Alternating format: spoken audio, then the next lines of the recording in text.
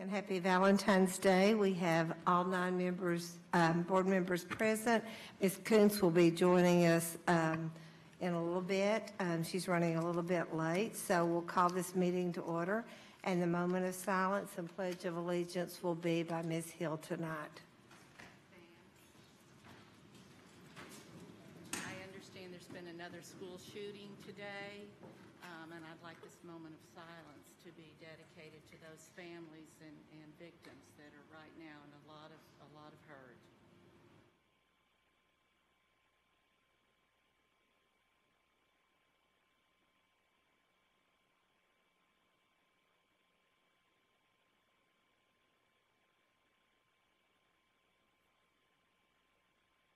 Salute.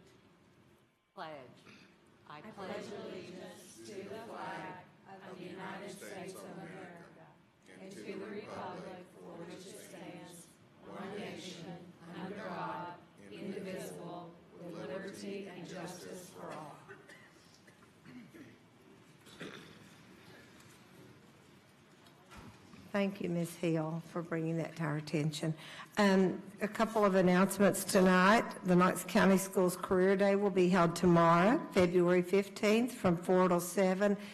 at the Knoxville Expo Center located at 5441 Clinton Highway. On behalf of the board, thank you to Pellissippi State Community College for being our presenting sponsor and to all of the participating educational institutions and business partners. We are looking forward to our spring 2018 Knox County Schools Recruitment Fair, which will be held at Central High School, located at 5321 Jacksboro Pike, from 9 a.m. till 12 noon on Saturday, March the 3rd. I don't see any elected officials in the audience tonight. If you are, please wave your hand. Okay. Then we will move on to changes to the agenda. Mr. McMillan. Thank you, Madam Chair. I'm requesting that the Board of Ed add an item uh, to the agenda to consider approving a request from Gibbs Middle uh, to engage in an agreement with the Valor Academy in Nashville to implement the Compass model of social and emotional success skills with their students. And I think each board member should have some information uh, their seat there. If there are questions, well, we can, we'll, we'll deal with that. Okay, thank you. Mr. Norman. Uh, Thank you, Madam Chair. I'd like to uh, add uh, short, just a brief discussion on cultural competency as regards what's taking place on Monday. Okay. Do I hear a motion that we approve the agenda with these two changes to it?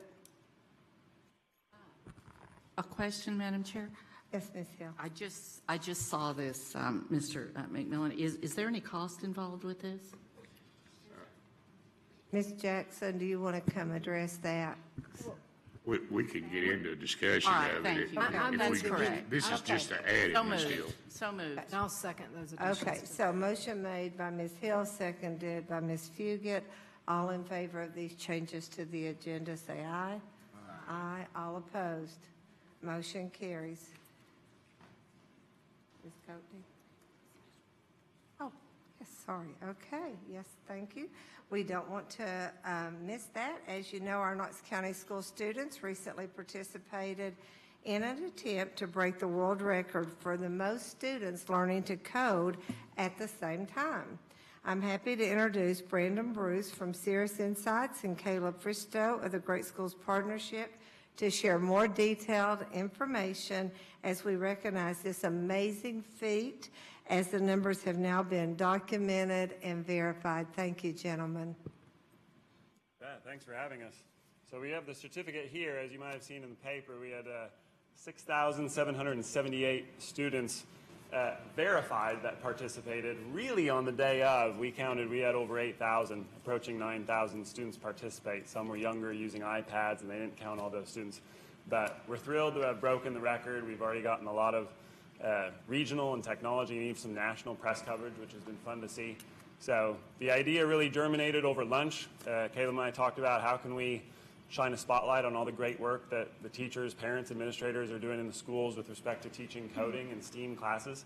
And so we came up with uh, this idea, which was, hey, if we can break a Guinness World Record, that's something that everybody rallies around.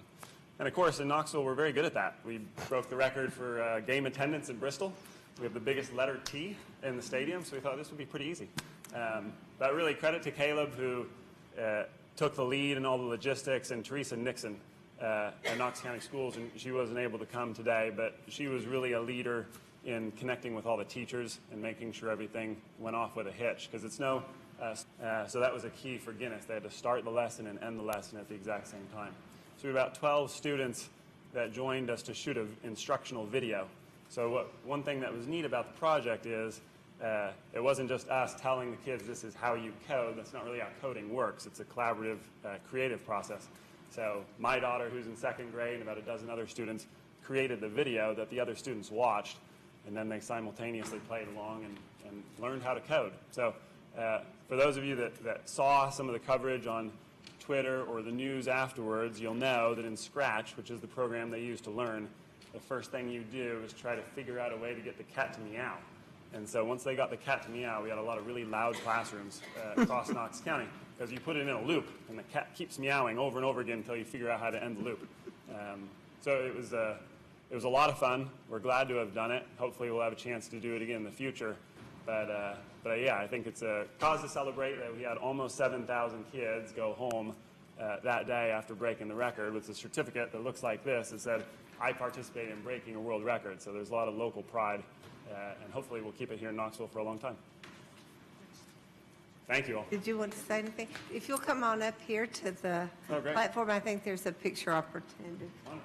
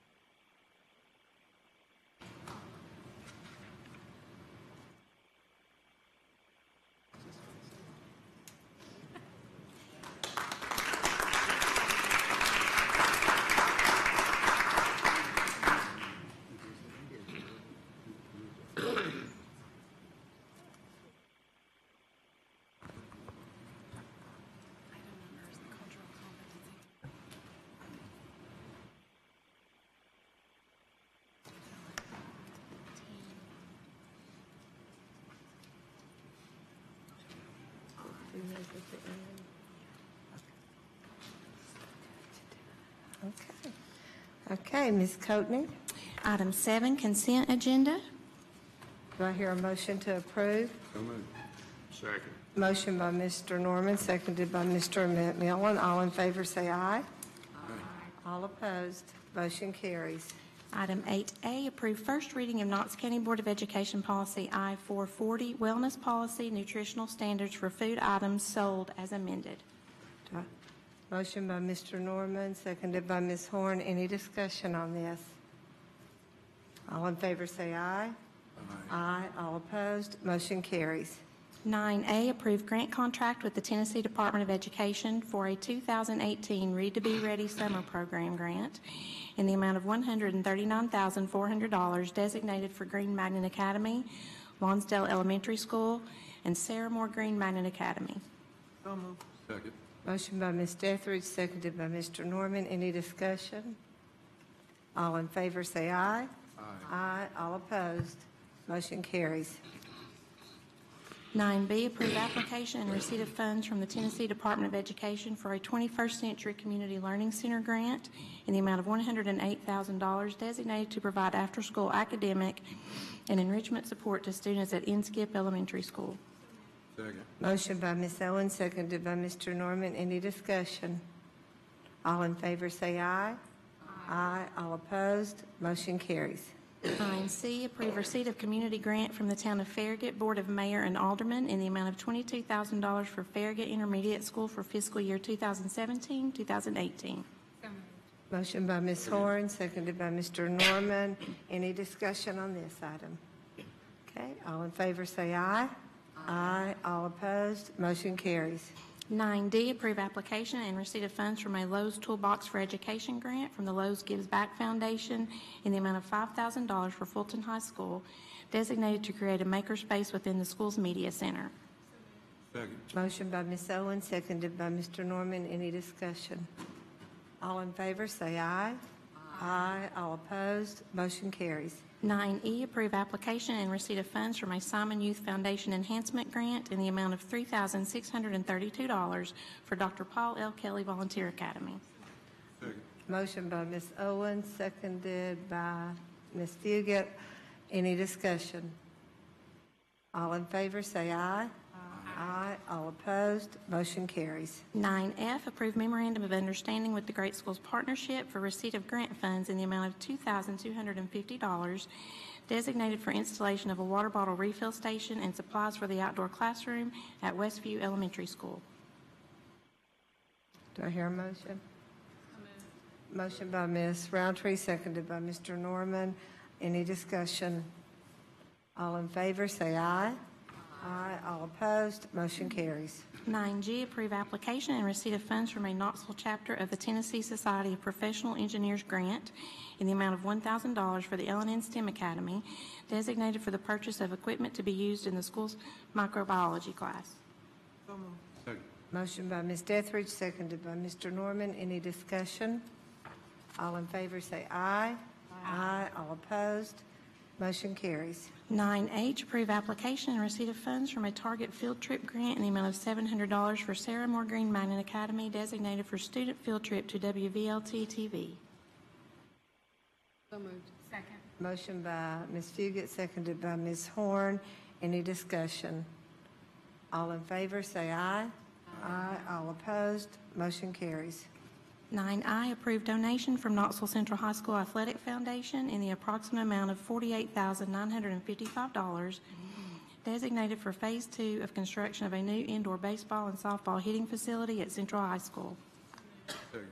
Motion made by Ms. Owen, seconded by Mr. Norman. All in favor, s- any discussion on this?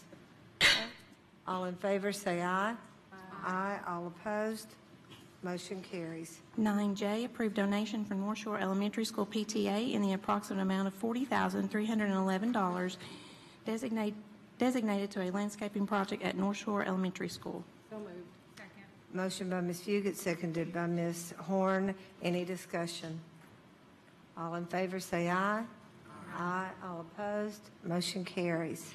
9K, approved donation from Rocky Hill Elementary School Foundation in the amount of $18,300 designated to purchase Imagine Language and Literacy licenses for Rocky Hill Elementary School. Motion by Ms. Fugate, seconded by Ms. Rountree. Any discussion? All in favor, say aye. Aye. All opposed, motion carries. 10A, approve fiscal year 2017 Central Cafeteria Fund Balance designation in the amount of $1,189,867.64. So moved. Uh, motion by Ms. Nor- Mr. Norman, seconded by Ms. Deathridge. Any discussion on this item? Okay, all in favor say aye. Aye. All opposed, motion carries. Item 10B, approve request to replace the windows in the original Pond Gap Elementary School using Skilled Services LLC up to $460,000. Motion by Ms. Fugate, seconded by Ms. Horn. Any discussion on this item? Okay, all in favor say aye. Aye. All opposed, motion carries. 10C, approve revision to the 2017-2018 school calendar. So moved. Motion by Mr. Norman, seconded by Ms. Rountree. Any discussion? Okay, all in favor say aye. Aye. Aye. All opposed, motion carries. 10D, approve proposal regarding Lonsdale Elementary School and Sam E. Hill Family Community Center. Second. Motion by Ms. Deathridge, seconded by Mr. Norman. Madam, Madam Chair, we have two public speakers signed up for this, this agenda item. Our first speaker is Tiffany Holmes.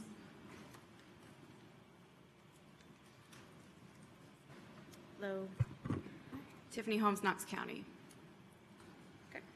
Um, I'm proud to say that I'm a second grade teacher at Lonsdale Elementary School. Uh, This is my 13th year teaching, and within those 13 years, I've also taught at Chilhowee Intermediate School and Ball Camp Elementary. Gained a lot of knowledge through very different experiences at these schools, and so I feel obligated to stand here and advocate for Lonsdale. It is frustrating to speak in the shadow of two new middle schools, uh, but silence shows acceptance, and Lonsdale has been overlooked and passed by too many times to be accepting. Uh, We have a very unique and fragile ecosystem at Lonsdale. We receive a number of students in all grade levels that are new to the country and speak limited English or no English at all. So during the day, we are teaching our grade level curriculum as well as many kindergarten and first grade skills. We rely on our kindergarten and first grade teachers for advice, strategies, and materials to use with these students. We even have some second graders who attend phonics lessons with one of our kindergarten classes. Moving our K-1 teachers to Sammy Hill will be detrimental to our school. We are each other's greatest resource.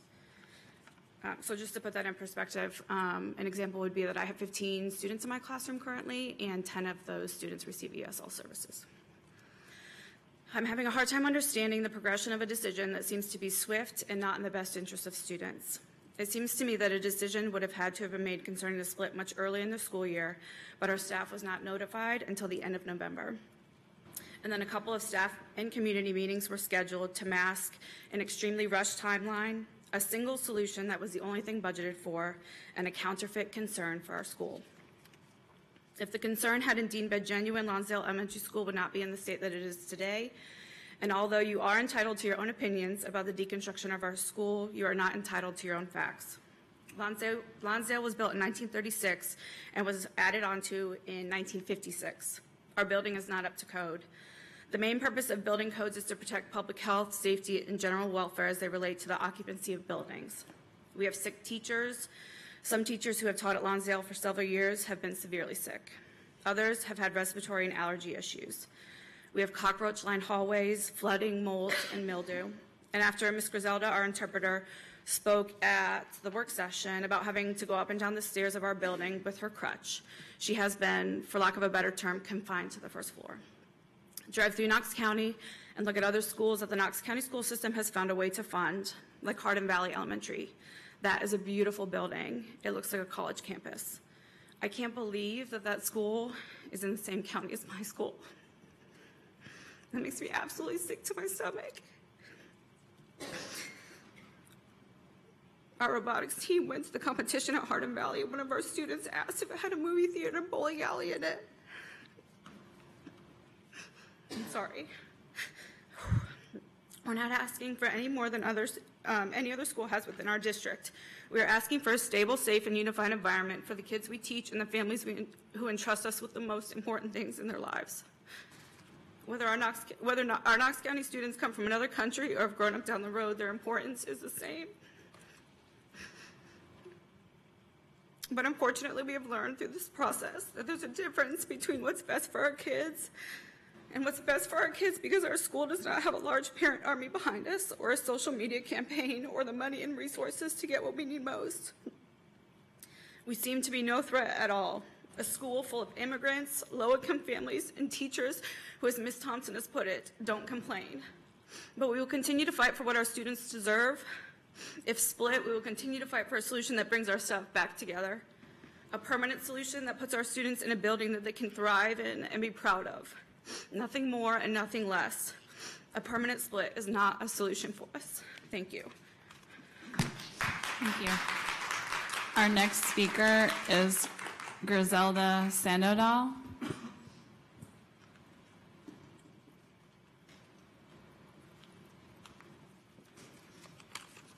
Good afternoon. My name is Griselda Sandoval. I am the full-time interpreter at Lonsdale Elementary and also the community liaison. And I am coming to represent the Hispanic community of Lonsdale. Uh, They have wrote a letter, or write a letter, for me to read uh, to the board tonight. And we also, the community went around and they were able to collect 57 signatures of parents who also support this letter. Um, After attending two separate meetings in regards to the above proposal and attending the board meeting on 11/27/17, as parents of children and who are currently enrolled at Lonsdale Elementary and Sammy Hill, we feel that the school system has failed the community has failed to communicate to families the problem of overcrowding at Lonsdale. Ms. Julie Thompson has held two separate meetings with the community, one on December the 13, 2017. On that day, the community would raise questions and concerns in regards to the move to kindergarten and first grade. More meetings were promised before making a final decision.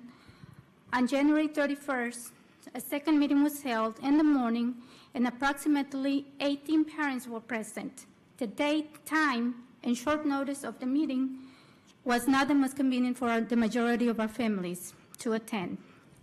We feel that the community deserves another meeting in the afternoon before a final decision is made by the board. On, this, on February the 2nd, a small group of parents had the opportunity to visit Lonsdale School. A tour was given by Ms. Henser in order to have a better understanding of the situation and to understand why the recommendation was being made. At this time, we realized that our children deserve better than being taught in the hallways and to switch from one classroom to another to receive ESL classes. Again, we feel the lack of communication among the school and the community failed our children. If the board makes the decisions today without any further meetings with the Lonsdale community, we ask to consider the following suggestions made by the Hispanic community. Do not make this proposal a permanent solution. We want our children under the same roof, not two different schools. At Lonsdale, our, sorry, at Lonsdale Elementary School to the top of the list of priority schools to be added to the capital plan improvement. We want our building to be handicap accessible for students, staff, and community in general. Sammy Hill has only 17 classrooms available. We do not want to have the same conversations three years down the road because of lack of space at Sammy Hill. No outdoor buildings to accommodate these situations will be accepted. Consider building a new elementary middle school for the Lonsdale community on the property where Rule High School stands, which is already a property of Knox County. Provide the same support, services, nurse, after-school programming, interpreters currently offered at Lonsdale Elementary. Below, you will find a group of parents who back up this letter and who will continue to push for a better and bigger school for our children. We thank you for your time and for taking this letter under consideration. We look forward to continue to work together with the school board on closing the disparities for students at Lonsdale Elementary. Thank you.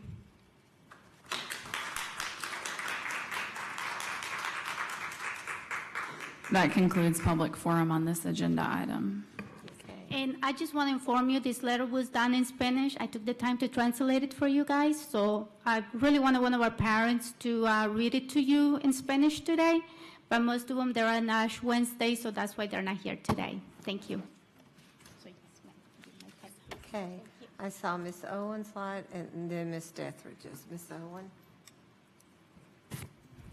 I just want to remind the board, several months ago when this came, well, not really several, a couple of months ago when this came up, it was pointed out that a solution had been in the works for three years, but it was just brought to the community in November. That doesn't seem very transparent. That doesn't seem like we're, we're really working with the parents. To have a community meeting on a Wednesday morning, that kind of says the same thing to me. So um, I, I hope we will consider putting this off and letting parents have some input. Deathridge? Thank you, Madam Chair. Um, And I appreciate the parents and the support from the council that came up, but I have attended the meeting several times, and this particular situation came up years ago because we were landlocked and we needed parking space. Um, And as the, you know, the community has continued to grow, so now you got a, uh, inside the building capacity problem. Um, I understand that this is not a good solution for everybody, but I'd rather have us to do this in an interim, in a temporary time frame to get kids off of floors, to get kids in a place where they can at least have a spot, a place to sit down and be taught by teachers.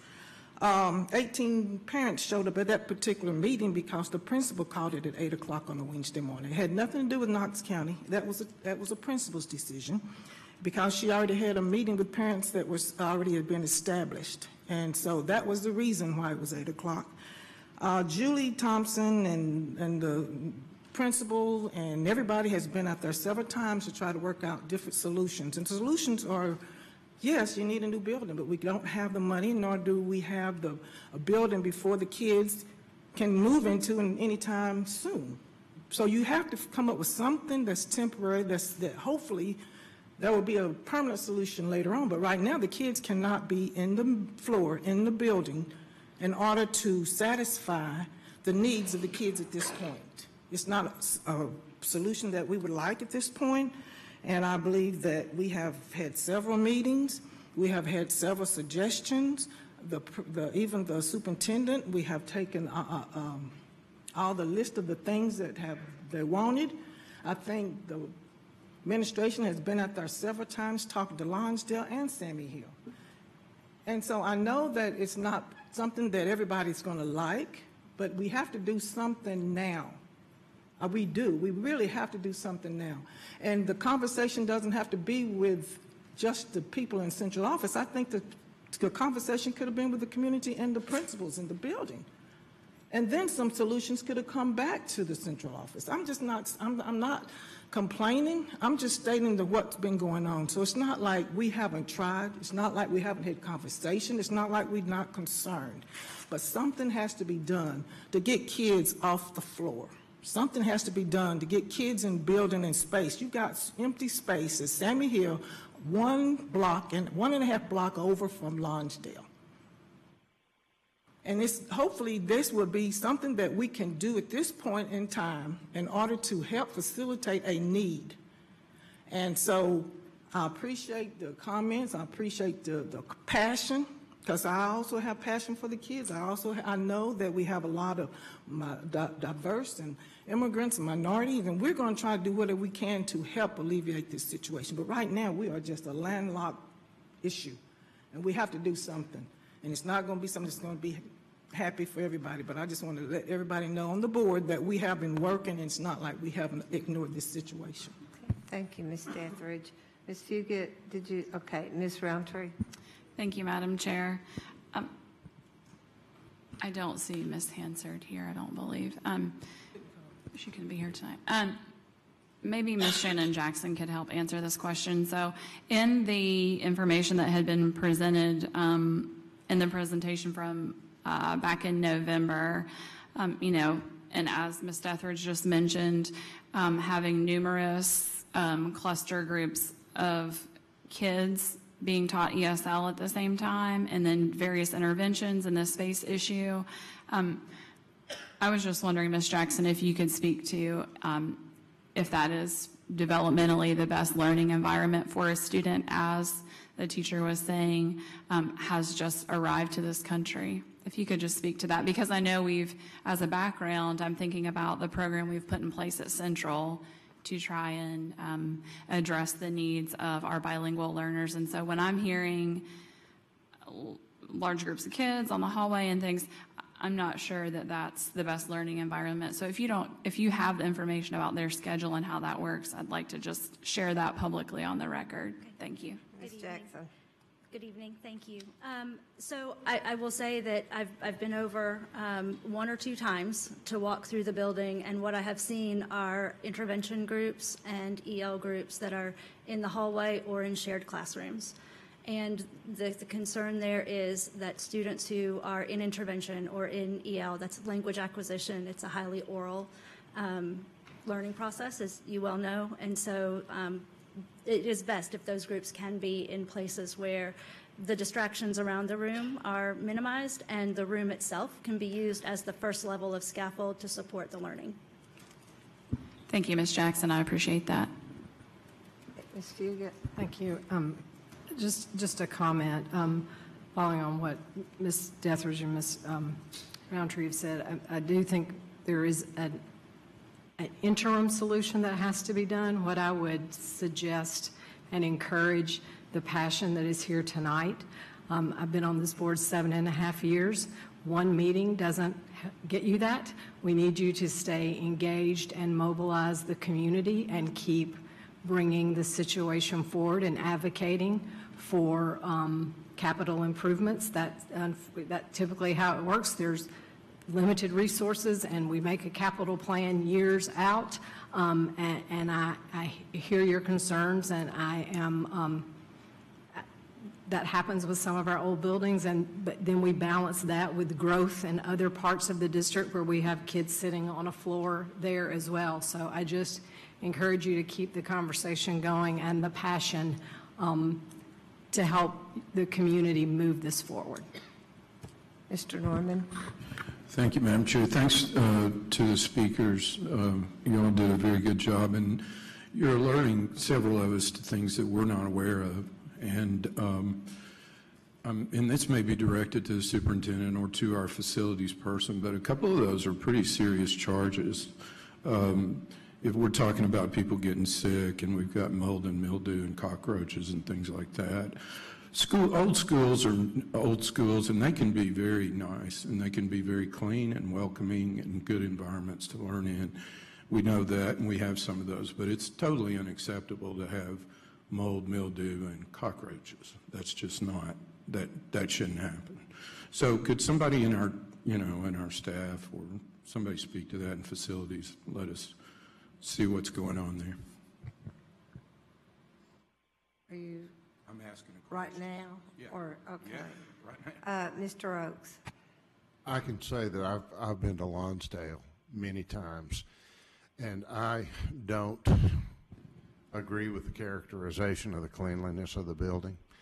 Uh, There are challenges uh, with an old building like that, and we can have to continue to address those. Uh, It's first I've heard about a concern of a mold problem, but we'll certainly go out and look at that and have our environmental people uh, do some testing and make sure there's not uh, an issue there. Uh, But we can certainly go back and look at that, yes. So you're not aware of any water issues then? We had some water in the basement this, uh, over this past weekend, but we had water in probably seven or eight different schools uh, over this weekend where we had uh, the uh, extensive rain. So that's something that uh, we can look at as well. Okay, so I'd just um, certainly suggest strongly that any, any kind of concern like that in this transition period absolutely should be addressed, and we should do everything that we can to make this facility as, um, as good as we can. Ms. Horn? Thank you, Madam Chair.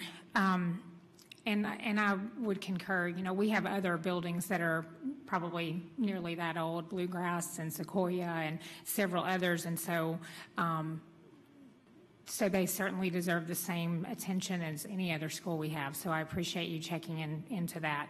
And I understand the difficulty in having elementary students in two different schools and the concern that that has for parents. Um, one positive is your, the younger ones are kind of insulated from the, um, from the state testing, and they can be insulated from that if they're in a different building, which is one positive. But I worry more about if we don't make this decision to, to move the students right now, we're going to continue with kids in the hallways. So that's the problem. So, um, but I, I do appreciate you both coming to speak and um, giving us some insight into your school and your community. Thank you. Okay, I see no other lights, so we will take a vote on that. So, um, all in favor, say aye. Aye. All opposed? No. Okay, did you get that, Ms. Coakley? Okay, motion passes.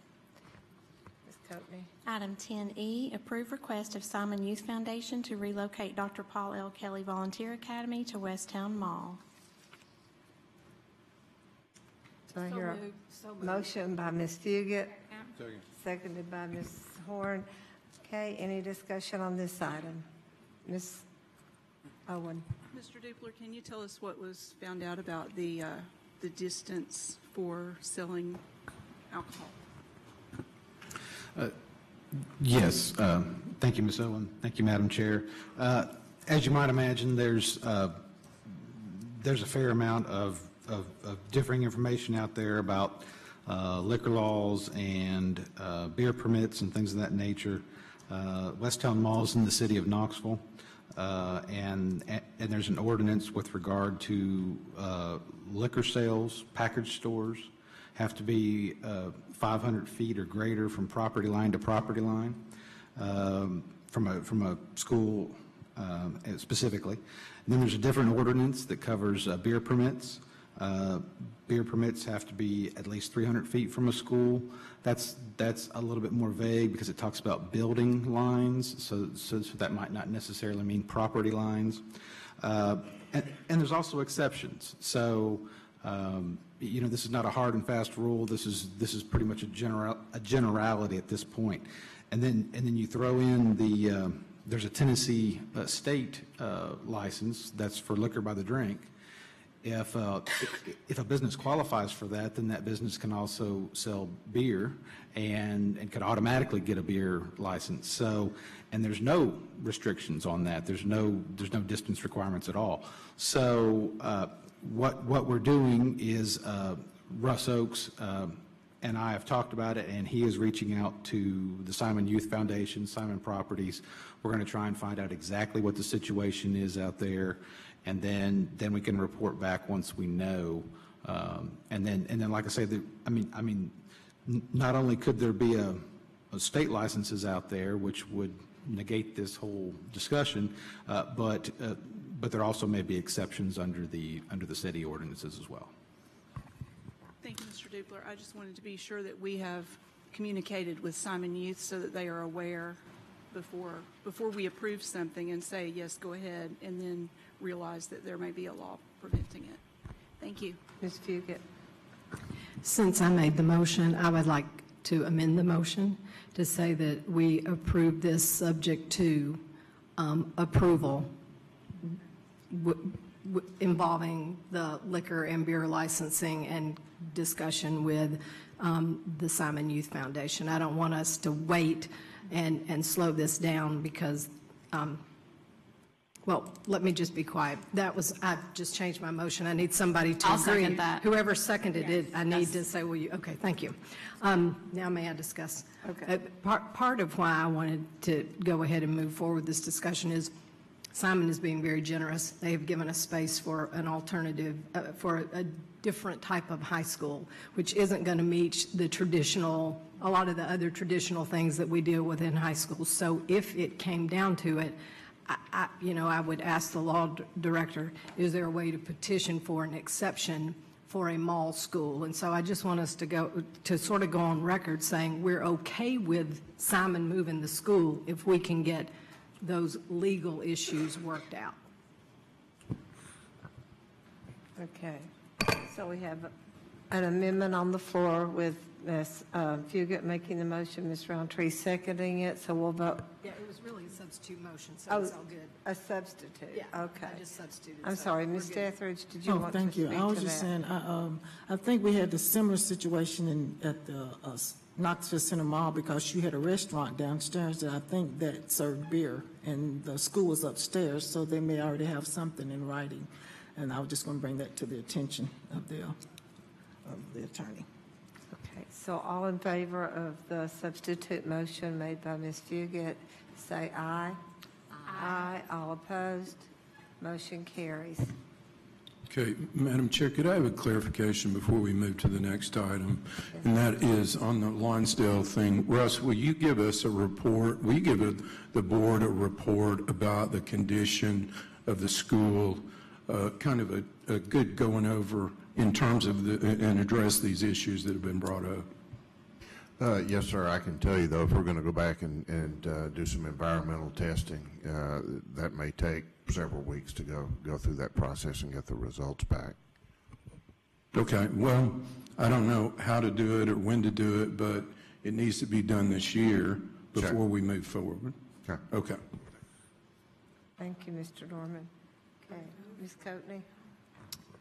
Item 10F, approve 216-day teacher contract length for priority and cusp schools, including Austin East Magnet High School, Belle Morris Elementary School, Green Magnet Academy, Lonsdale Elementary School, Sarah Moore Green Magnet Academy, and Vine Middle Magnet School. Motion by Ms. Owen, seconded by Mr. Norman. Any discussion on this? Ms. Rountree? Thank you, Madam Chair. Um, I know that we've previously discussed this, but there may be folks here tonight and watching at home that um, don't understand why we're approving this sort of separate from our future budget process since it goes into school year 18, um, fiscal year 18. So if the superintendent wouldn't mind just clarifying the rationale behind that, I would appreciate it. Madam Chair, uh, members of the board, uh, be glad to, to uh, shed a little bit more light on that. But we've, uh, of course, priority schools and, and cusp schools, uh, we're working with the state right now on, on ways to, strategies to make sure that uh, those schools don't fall in the uh, bottom 5%. We actually do, do not want them in the bottom 10%. Um, In terms of the budgetary impact, um, the cost of this is about $1.3 million. What we had recommended uh, is that uh, with the vote that was taken on the Leadership Academy, that uh, paring the, the money down considerably to take the funds uh, saved from uh, that agreement. And in addition to funds, we, we don't know yet from the state, but there's, there should be some additional funds, maybe, we won't know until later in the year, but the, uh, the title funds that we can use, but to come up with the total cost of $1.3 million. But this would fund approximately $900,000 of the cost. And, and actually, uh, to use this time for professional development for the staffs and uh, um, in terms of the teachers, giving them a little bit more incentive in terms of some extra pay to, uh, to do the work. The work is difficult in all schools, and we recognize that. It's uh, uh, very difficult in the priority schools, and um, just to give our teachers a little bit more uh, incentive to stay because it's important to have consistency in terms of the teaching staff. And we have, on, on years we have turnover there, then that certainly interferes with that consistency. So we want, uh, we want effective teachers everywhere, uh, obviously, and we want them in our priority schools, and we want to uh, make sure that we can compensate them in a way uh, that they will stay there and also to provide the kinds of professional development that will help them to be more effective in terms of the students that they're working with. Did you- I did, I just had a follow-up comment. Okay. Thank you, Superintendent Thomas and Madam Chair. Um, My only follow-up comment to this uh, item is, as we had discussed at our work session, um, there was quite a bit of overlap between the schools that we would be approving for this extended contract and other funding, including um, some of the magnet dollars. So uh, while I may support this item, I think that, as I stated at the work session, I look forward to seeing the rationale behind um, the magnet programming and how it is directly impacting achievement and um, moving those schools and students forward. Thank you. Ms. Horn? Thank you, Madam Chair. Um, Is there a reason that we're approving this now versus during, as during part of the budget cycle?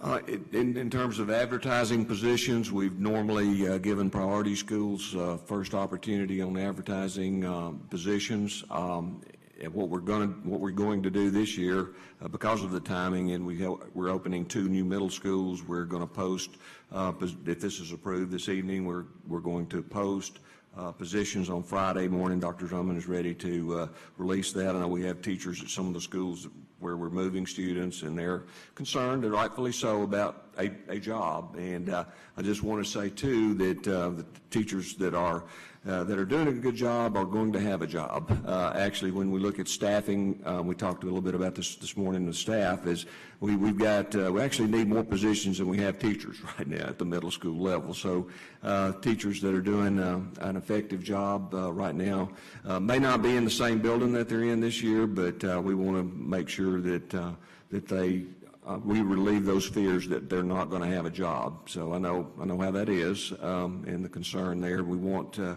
we want to just reassure as much as we possibly can that uh, jobs are going to be there, and we'll get them posted, and, and folks can go through the interview process, and, and then we'll kind of go from there. Thank you. Okay, seeing no other lights on, we'll take a vote. All in favor, say aye. Aye. Aye. All opposed, motion carries. Item 10G, discussion and action on Leadership Academy Committee proposal, and if approved, a memorandum of understanding will be prepared by the Knox County Law Department and the University of Tennessee General Counsel to accurately reflect the proposal and to be signed by the board chair. I, I- I want to restate the motion, because this isn't really a motion. Oh, you're going to make, Yeah, okay. so, yeah, because this Yes, is we discussion need of a- possible yes, we action. need So a motion. I I would like to make a motion that says approval, uh, move to approve the Leadership Academy Committee proposal as presented, and then add the rest of language, and if approved, blah, blah, blah, because discussion and possible action is not really a motion. Uh, Okay. Do I have a second? Ms. Fugate's made a motion. Seconded by Ms. Deathridge. We'll open the floor up for discussion. Madam Chair, we have one Oh. speaker signed up for public forum on this item. Yes. Candace Bannister.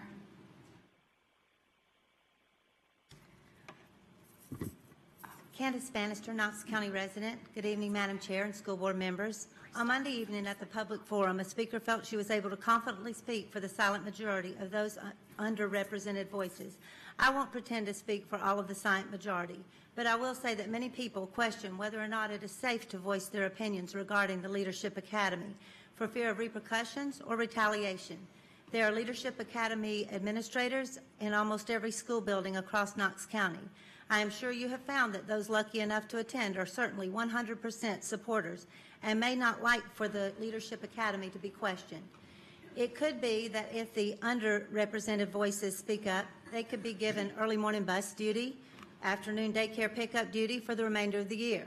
Just to be clear, I'm against any continuation of the partnership with the Leadership Academy, and with good reason. I have, e- as I have emailed each of you my concerns, I will not repeat them here tonight in the limited time I have to speak. Thank you. Thank you. Okay, we will um, have discussion starting with, I'm sorry, with Ms. Rountree and then Ms. Fugate. Thank you, Madam Chair. Um, I just wanted to state before the discussion begins that I will be recusing myself from the vote on this agenda item.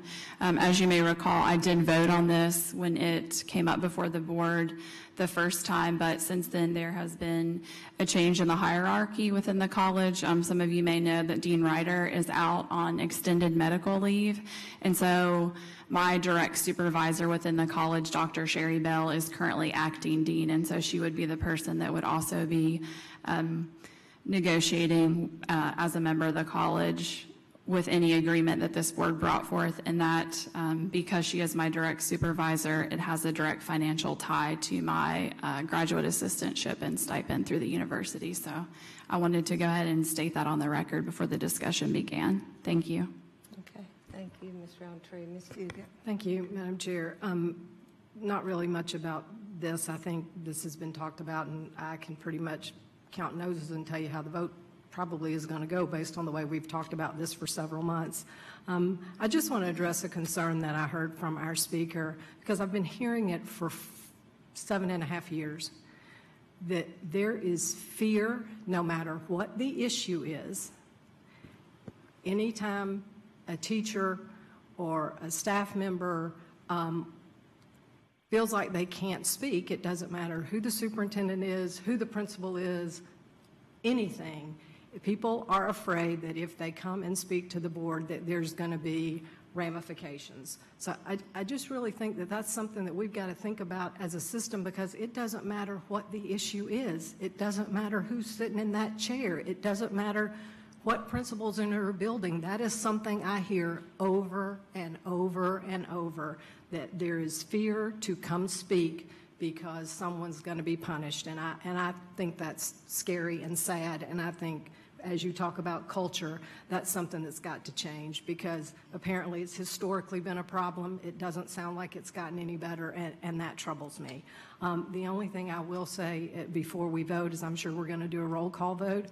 And what everybody needs to know is it takes five affirmatives, and so now we only have eight votes. So um, it will take five votes to move this forward. So thank you. Thank you. Ms. Owen? I just want to agree with Ms. Fugate. Um, I had a contact from a person in the school district who says that the teachers in her school are afraid to come to the meeting, not even to speak to us, just to come and sit in the meeting. So I, I, think that's absolutely something that needs to be addressed. And it didn't start yesterday, it didn't start eight years ago. It has been ongoing for a very, very long time.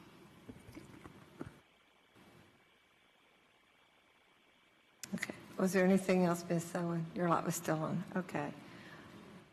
I see. Ms. Hill? I would just like to kind of summarize some of the things that I've heard. Um, It probably isn't going to change any minds, but um,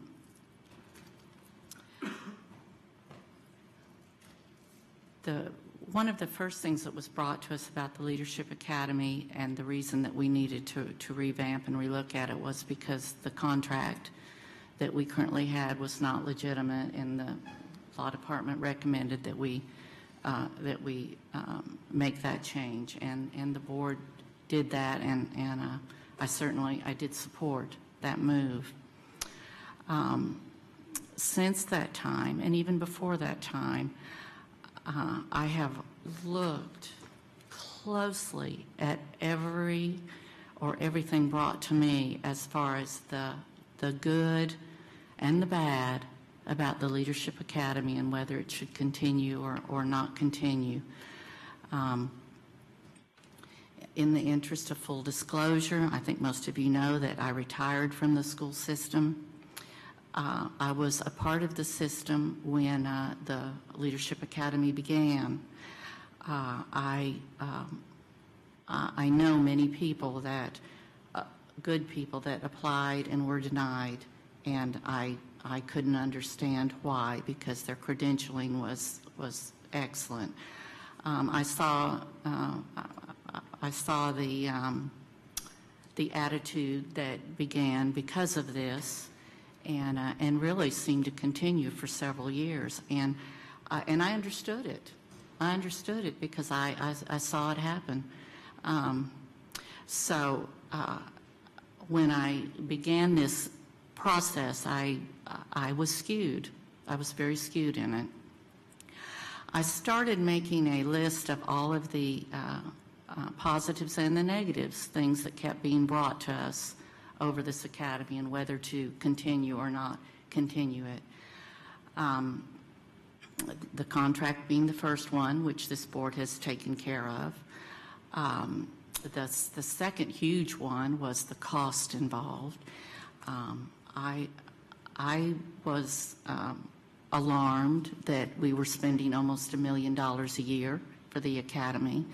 Um, I, I did feel like that might be money, certainly well spent elsewhere. Um, And we, um, uh, and our superintendent, at, at the request of the board, came up with an alternate proposal that uh, virtually eliminated the cost to Knox County schools. So that was certainly a barrier that faced us, that, that, that was addressed, and it sounds like has been uh, remedied. Um, Then this board decided to uh, uh, assign a committee to look at the um, uh, pros and cons of Leadership Academy. If it were to continue, could it continue with, with um, uh, a revamping?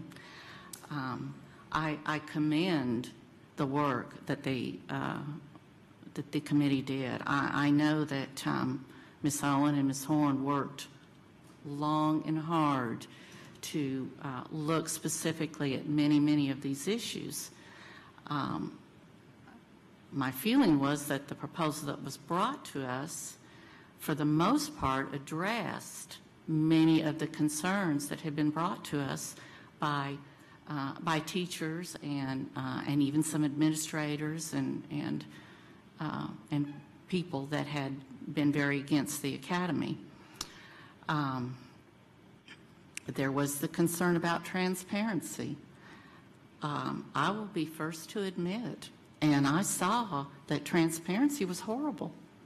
It, it was not good. Uh, in essence, the uh, decision-making was pretty well narrowed to one or two people. That was not right. That should not have happened. Uh, but, but that was then, and this is now. It did happen. Our committee, in its wisdom, brought to us a very transparent process that if this were to continue, that it, it would be, um, uh, it would be open, there would be communication from beginning to end with any candidates that uh, that decided to apply, um, uh, and that the um, decision-making would be not one person or even two people, but it would be upon the recommendation about, uh, from Knox County Schools of a committee uh, put together by our superintendent. Um, Also, the communication that would go every step of the way to all applicants, which I um, totally uh, see as a, um, a step up, as a growth type of um, uh, exercise, if you will, for any of our men and women that are wanting to go into leadership. Um, So the issue about transparency and how it occurred and who picked and all, the committee brought us a solution that, that addressed that. Um, The, um, uh, the issue with the non-disclosure of UT financials to us, of the spending, uh, the difficulty that we had getting the curriculums, um, I didn't like any of that. I, I, I I didn't, I didn't think that was, that was good for anyone. Um, I still don't know why we've not been able to get uh, that information. But I do know that as the committee addressed this, that um, one of the uh, fixes, so to speak, was for us to have a person, uh, a leadership director or whoever this person is going to be, which I understand is going to be rem- recommended to us, regardless of whether the academy continues or not, that this person would be front and center in working uh, hand in hand with UT, and that this transparency, in fact, would occur. You know, none of us can change what's happened, but, but we do have a chance to fix things and move forward. So I, I, I do feel like, even though that was a real blackballing issue in the past, that there is very real potential from this point forward to, uh, to address that concern. Um,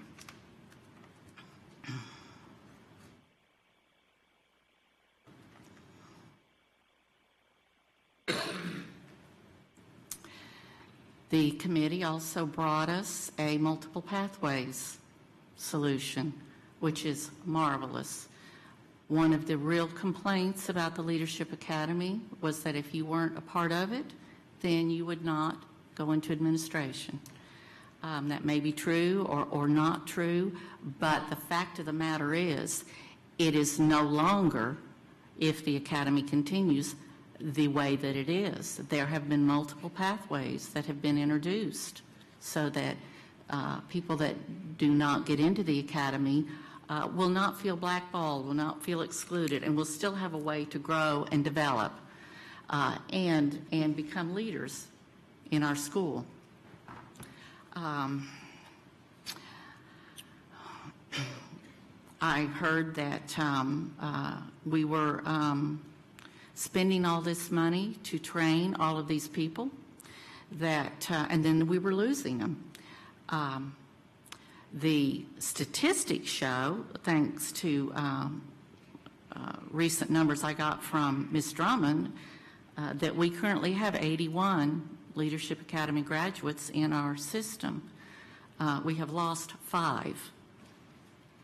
Now, that's a pretty reasonable retention rate, no matter how you look at it. Plus the fact that one of the committee recommendations, which I also thought was outstanding, that anyone that goes into the academy uh, will uh, have to pay a uh, penalty, if you will, if they do not fulfill a contract for uh, X number of years, that they, that they will have a payback in that. So um, even though that retention was not the problem that it was initially presented to be, as I just said, if it is in fact an issue in the future, it has been addressed. Um,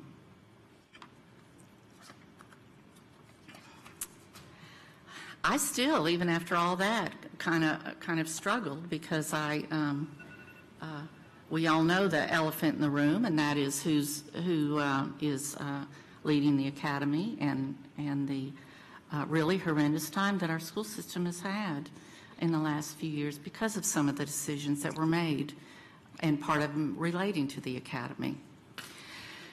So of these 81 graduates uh, that are still with us, um, I, I had personally talked to 16 of them. So that's um, not quite 20% that I made the effort to go in and, and speak to. Um, many of them I knew personally from years past. Some of them that were brand new to me. Um, and asked them what, what was good about this, what was bad about this. The biggest negative that I heard from years past was the um, extremely competitive uh, nature that they felt like that they walked into, that they were going to have to, um, uh, it was made very clear that they were competing with the people they were looking at. And, um, and that was kind of a new um, concept. Many times, um, uh, that competitiveness, which is uh, very real in the business world, is sometimes not quite so obvious or dealt with in, um, uh, in the school setting. But they, they did find that disturbing.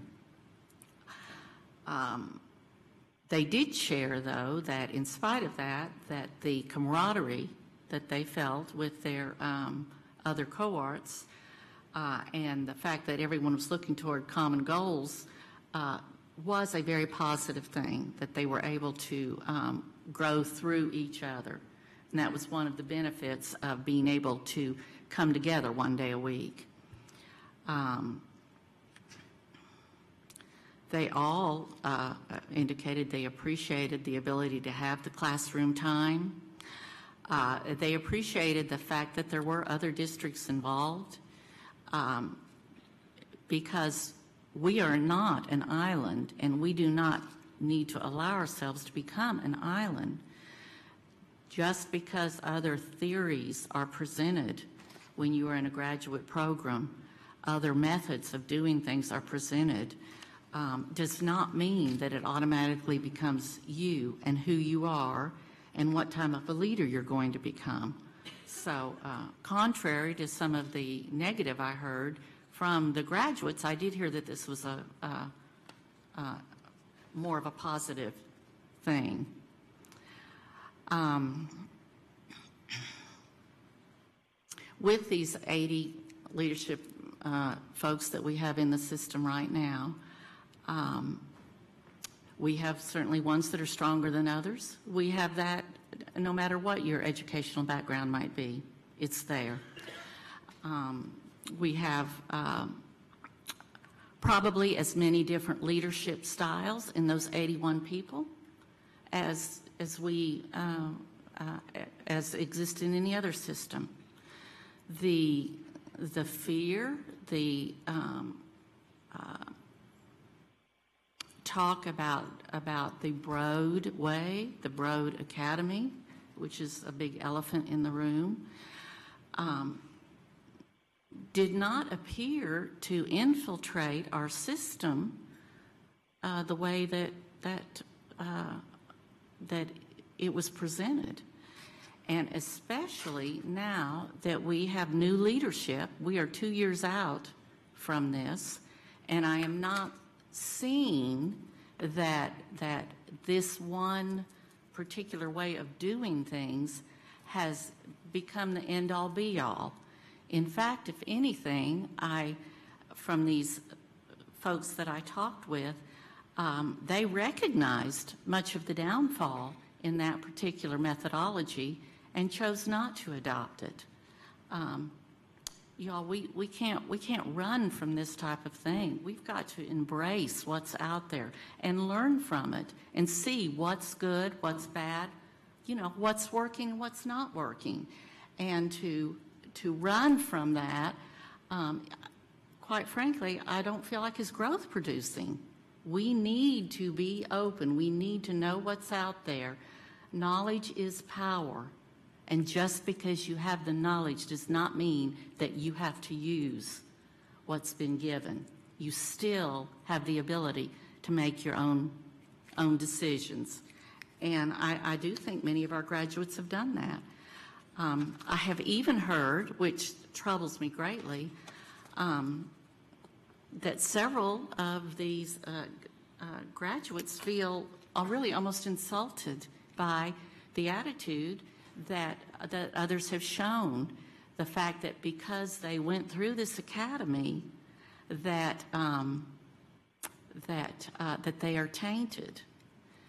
Uh, I would challenge every board member sitting here to, um, to look at the uh, Leadership Academy graduates in their district.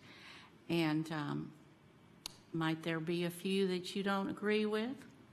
I would say that number would be the same with those that did not go to the academy. You still are going to have disagreements. But I do know that some of our finest principal leaders are graduates of the academy. I think we need, to be very cautious, whatever the decision is tonight, that, uh, that we don't allow that stigma to be there, which has clearly been out there and indicated by, by several people on this board and also um, in our schools. And probably the last thing that, that I have heard, and I really am trying to address every issue that has been sent to me through emails, um, was that um, uh, it's not fair that 10 people get, you know, scholarship for graduate program and, and everyone else had to go and pay their own way. Just because we cannot put Chinese or Arabic in every high school, just because we cannot have an L&N STEM program going on in every high school, does not mean that we should deny the few students that we can give it to because we can't give it to everyone. And I feel like that same thought process is following up with this LA, uh, with the Leadership Academy program. Um, would we all love to have our graduate graduate work paid for? Absolutely, we would. I mean, that that would have. Uh, I, I did my graduate work at UT, and, and I'm telling you, it was a tough road to hoe. Um, I, I get that, but to deny the few that we can give this to because we can't do it for everyone, again, I apply it to what we're doing in our schools. We don't deny all students a benefit because we can only give it to a few. Uh, I did hear a couple of very um, touching stories from one current uh, participant and one that graduated about two years ago, and it was not the gentleman that addressed us uh, several months ago about how life-changing this has been for them because they had graduate degrees, they weren't not in administration, they had no shot at getting into administrative roles because they had young families, they were heavily in debt. Graduate school was not an option, and this has been a path for them. Um, I just, I just do not uh, um, agree that if this is something we can do even for 10 of our, uh, our folks in our school system, um, that that is a benefit that, um, quite frankly, I just think would be uh, a mistake to take away. Um, uh, and again, this is, you know, this is Terry Hill speaking. So I say all that to say, I think we have been given a chance for a do-over to, to fix everything that was wrong. And clearly, whether you agree with the methodology or not, it has not infiltrated our system. And, um, uh, and I, I would not have any reason to think that that is going to change because, in fact, the men and women that are chosen for this academy do have minds of their own, can decide what works for them, and that's the leadership that they can bring to our system. So I hate to deny any kind of a benefit, even if it's just for a few of our um, uh, employees. So having said that, as much as I know and I understand and I hear all of the heartache that has occurred in this system over these last years, and some of it being blamed on Leadership Academy, I think the time has come for us to move forward and not just destroy um, a program that in fact is, is um, of benefit to several individuals and to our system as a whole. That is in fact a, a partnership that um, I personally think bodes well for Knox County Schools to have this type of affiliation with a flagship university. So that's, uh, that's the reason I will support this, not because of what's happened in the past, but because I feel confident of what can happen in the future if we allow this to continue. Okay, Ms. Deathridge. Thank you, Madam Chair. Uh, Terry pretty much put it out there, because I- my my thing is, the task force worked very hard. I sit in on a lot of those sessions, and they didn't agree on everything, but they did come together and and came up with a proposal that we asked them to go uh, research, put together, work with UT, and bring it to us. They may not agree, but once you, once you're on a committee or a task force, when you finally make a decision, I would say that you support that decision when you present it. I'm- That's just me. That's, how- that's how I am. I may lose the battle, but I'm going to support the decision. And I think that if they brought us a, a proposal back and we asked them to do what we asked them to do, and we can live with it, and it is something that has been a benefit, at least I know, to uh, bringing in minorities and more women and putting them in. I know it has been a benefit to my district because we've got one at Holston, Green, Vine, Austin East. They all came through the Leadership Academy. And I, and they all have talked, I have talked to all of them, and they have told me what benefit they have gotten from this experience. And I would hate to think that uh, we're going to let some, something that is going to keep us from looking at the future, as Terry has said, something that's going to move this system and our children forward and what we're trying to do as far as teachers, leadership, administrators, making them stronger and making them, and we should embrace the opportunity in order to, for, uh, not only for, for um, what can be, but what should be. I think a lot of things that the task force brought back is good things that, that if we adopt these and move forward, it only make the system better. But I don't believe in cutting off the nose to spite the face. And that's what we're doing if we don't really, really look at the Leadership Academy and what it can do for our system. Not because of what is, is included. Sometimes you have to just look over that, get over it, and move on. I'm, I'm like Miss Hill. Uh, we can't keep dwelling on the past. We got to think about what, what can be, what should be, and what will be.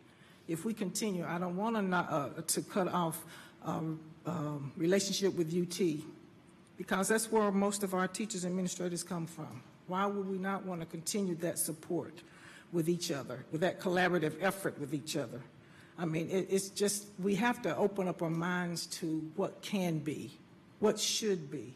And if we cut it off now, and then next thing you know, the individual that you don't like leaves, then we've already given away this opportunity because of one individual. That one individual does not make or break this program. Whether we like it or not, they do not. This, there's more to this program than that, and we need to just go look beyond that, um, get over it more so than, and move on. I, I agree with Ms. Hill. There's time when we have to just go ahead and do the right thing for the school system. Uh, the superintendent is willing and ready to work on all the issues, willing to do whatever we need to do to make it better. And like, and if you have a per, we, we got, there's teachers that are not great. So you're not going to have administrators that are all great. There's going to be some things that come through that, that we're not going to be our top choice. It's just life. I mean, that's part of it. Don't throw away the baby with the water because everybody's not going to be great. That's just part of it. So I, I'm, I- I know people say, I knew you was going to support it, but I am because uh, it has been an avenue for a lot of my principals that's doing a great job with my students in my district, and I will going to continue to support that effort. And I want to make sure that uh, this is not the beginning of tearing up some things that has been a beneficial to what we're trying to do in Knox County. Okay. Ms. Owen, I think yours is the last slide on. I can be fast, I think. Um, I I want to clarify, um, the committee's work was not to make a decision or to make a recommendation. The committee did not come to an agreement that this was the best plan out there. The committee's work was to come up with the best plan we could within the parameters we had to work with. Um, So that's limited before we even started. So I, I want to be sure that everyone understands that this is not a recommendation of the committee. The committee made no recommendation. The committee worked to negotiate the best plan we could make within the parameters that we had. That is not a recommendation.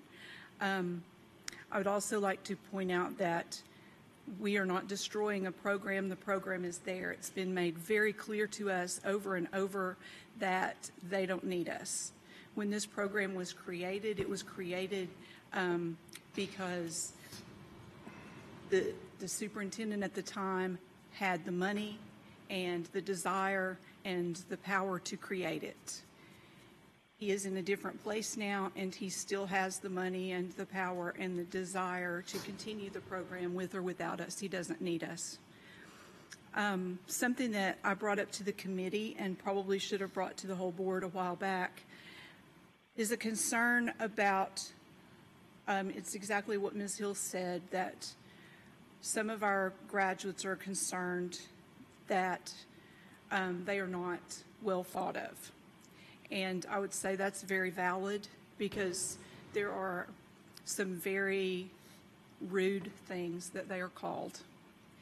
And if you look at state law and the definition of incompetence, one of the parts of that definition is the inability to command respect from subordinates or to secure cooperation of those with whom the teacher must work. So if we are putting our folks in a situation, choosing just these elite few, and putting them in a situation to set them up for that, I think I need to ask myself if I'm setting them up for failure.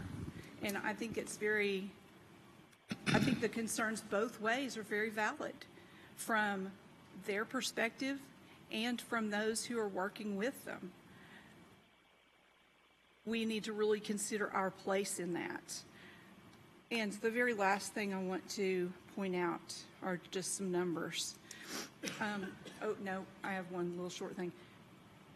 On October 30th, when this was presented to, uh, when the findings were presented to us, Clint Sattler clarified the findings, and he said that the finding is not that the district would benefit from the Leadership Academy per se, but from some kind of principal development. Some kind of principal development, there is a lot that we can do in-house for a lot more people, for a lot less money, without having them go get another degree or put them in a situation where they feel that they have to do something. They don't have to be pressured to feel like they have to apply. Um, between the time that we voted to end that MOU until today, I have not had a single contact from anyone supporting the program, not one. I have had um, 25 contacts in writing from people who strongly oppose any kind of um, leadership academy. I did not track those that I spoke with in person or things that I read on social media, but they were numerous and they were also all in opposition.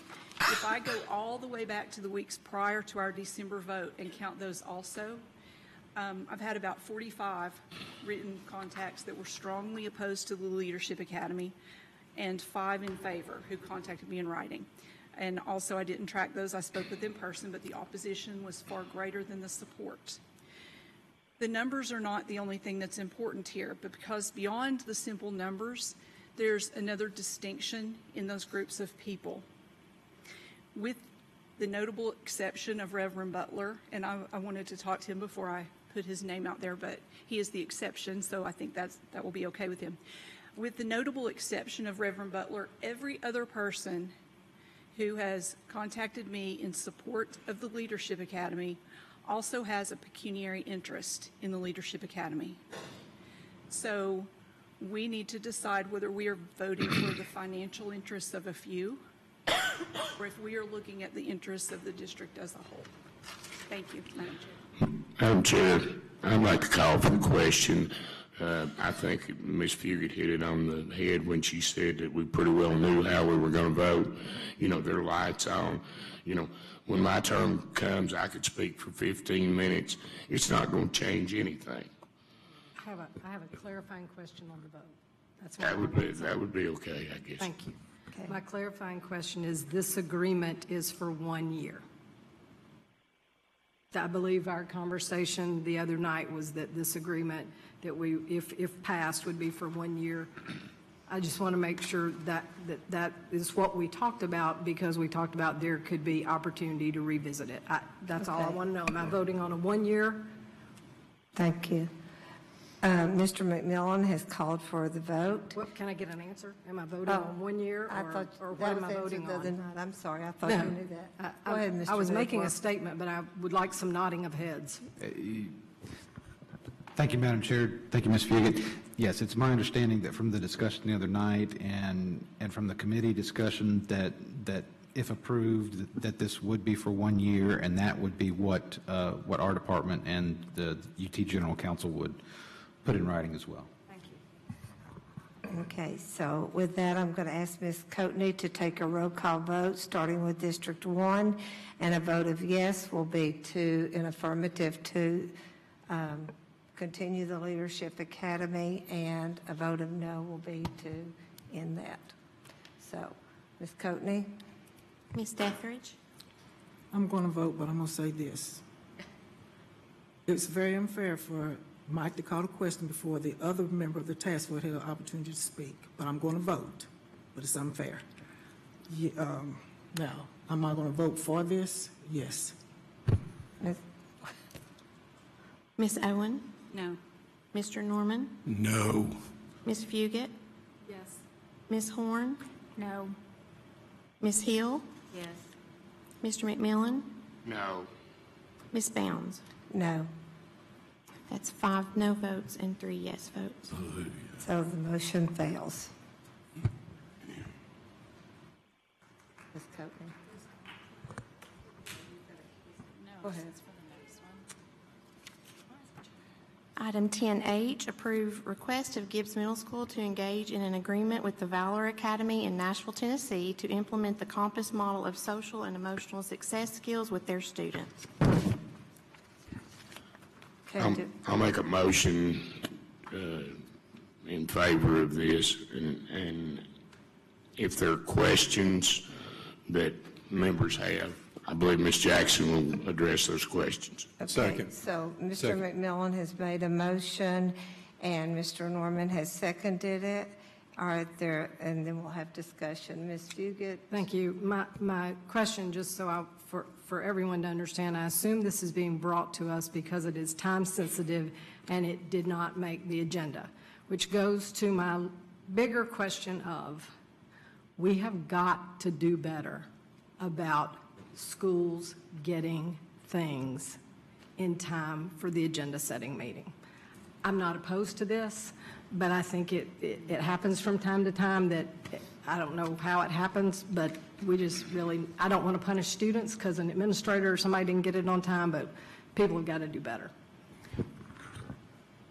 Okay. Mr. Dupler? Want me to- I can, Yeah. I- yes, I can address that. Uh, Thank you, Madam Chair. Thank you, Ms. Fugate. I can say that, uh, that, that the system has, has gotten better about uh, deadlines and, and uh, issues coming before our office.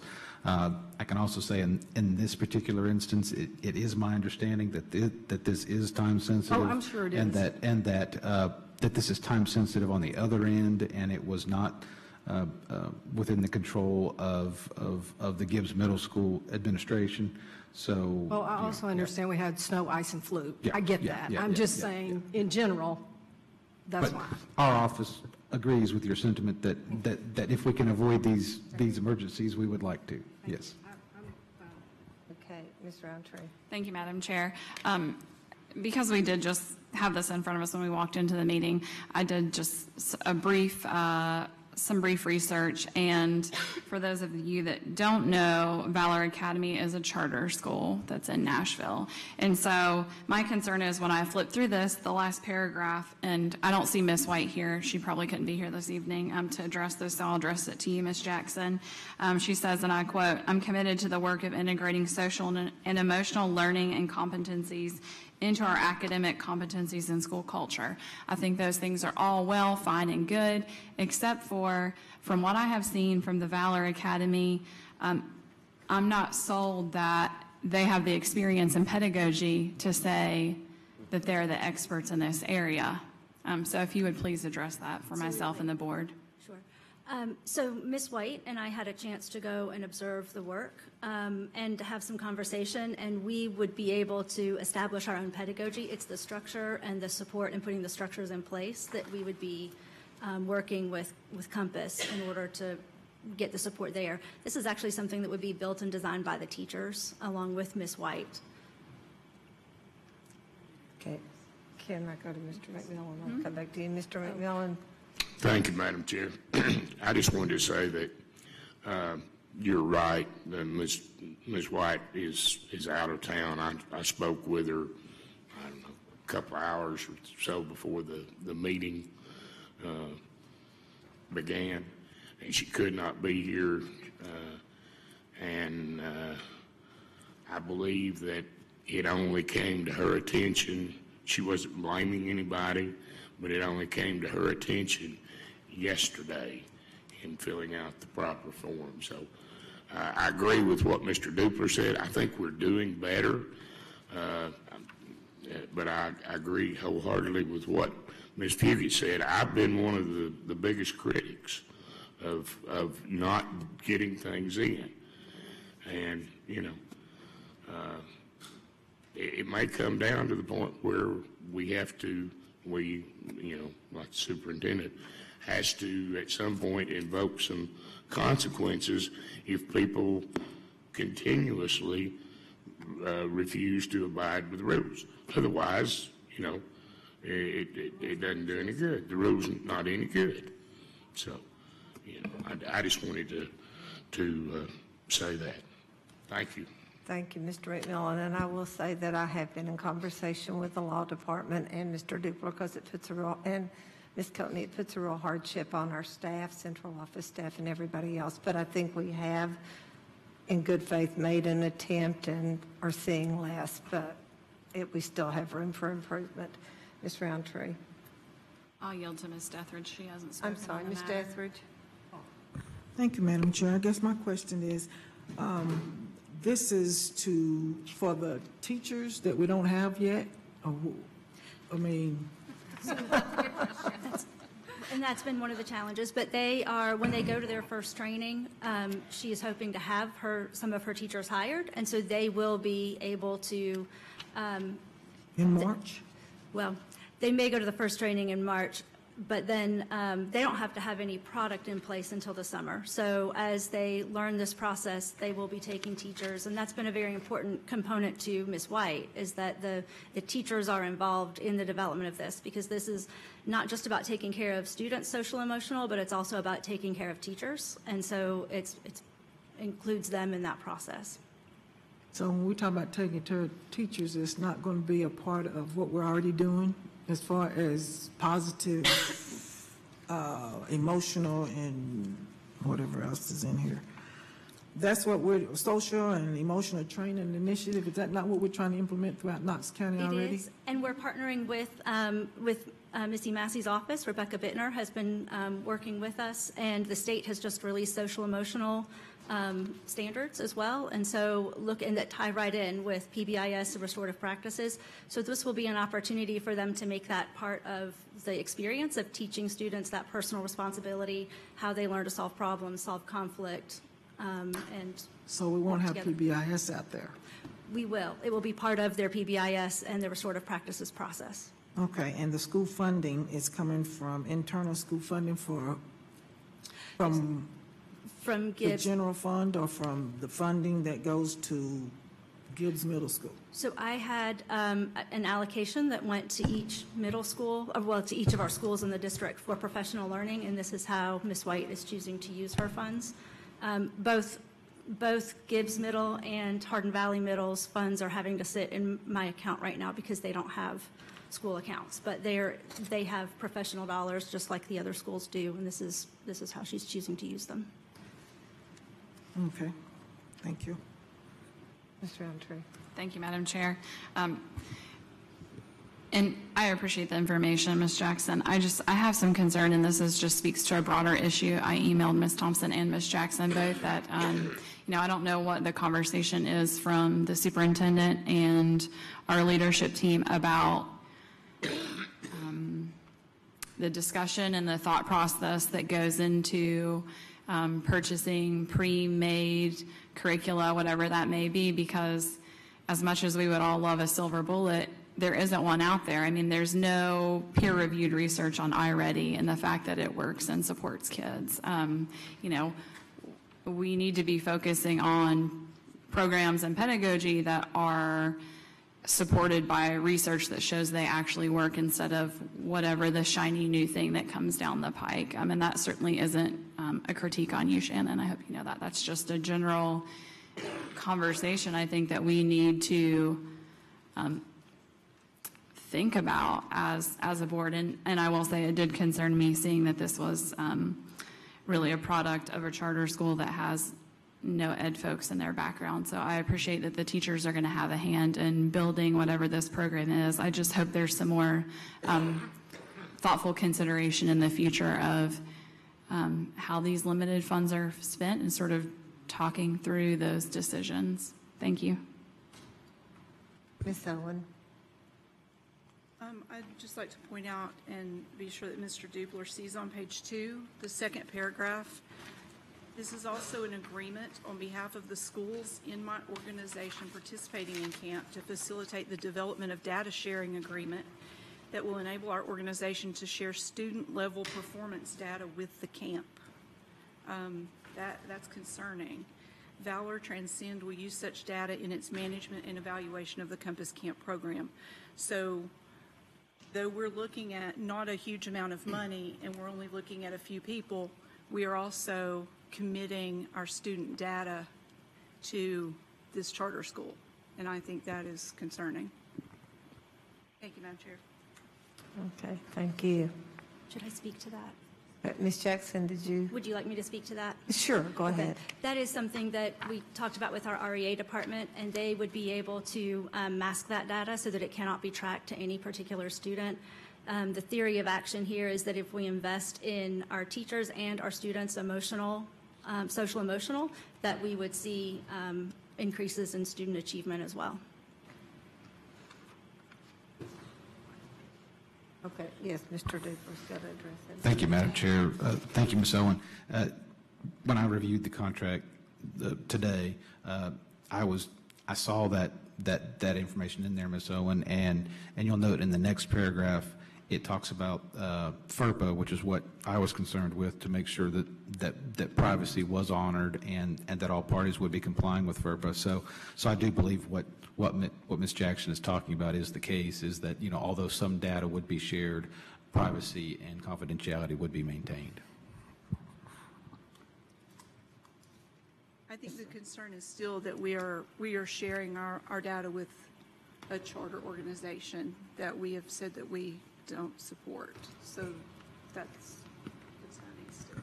Ms. Jackson, could you give me a little bit of the history of how this began? I mean, we're here at this point tonight, and I saw quickly reading through the notes that you provided us that you and two others from our district went down to attend something in November, but how did this come on the radar, so to speak, or? So I that- became involved when Miss White asked me if I would go with her, that she has been looking for a way to bring together student achievement and um, the culture of a building. Um, The, that, you know, PBIS, restorative practices, social emotional learning needs to be paired with academic learning, and that this was something that um, she would like for me to look at with her. Um, And so I went along with um, someone from Missy's department, and we talked about what would work in our context and what wouldn't, um, and learned that we would have the flexibility to design the program in such a way that would meet with Ms. White's vision for Gibbs Middle, and that would really provide coherence to the school around, um, these are not initiatives that are at odds with each other, these are initiatives that support each other. So that was exciting to me because you know, there, there's limited time to do development, um, and putting your attention on the, the social emotional well-being of our teachers and our students seemed like um, a, something that we really needed to be able to try and to test to see if that was um, making the, the changes that we thought it would. And I had one other question. Um, I noticed down here at the end of the bottom of the page, under internal capacity commitments, faculty circles, 60 minutes, one time a week with host staff present.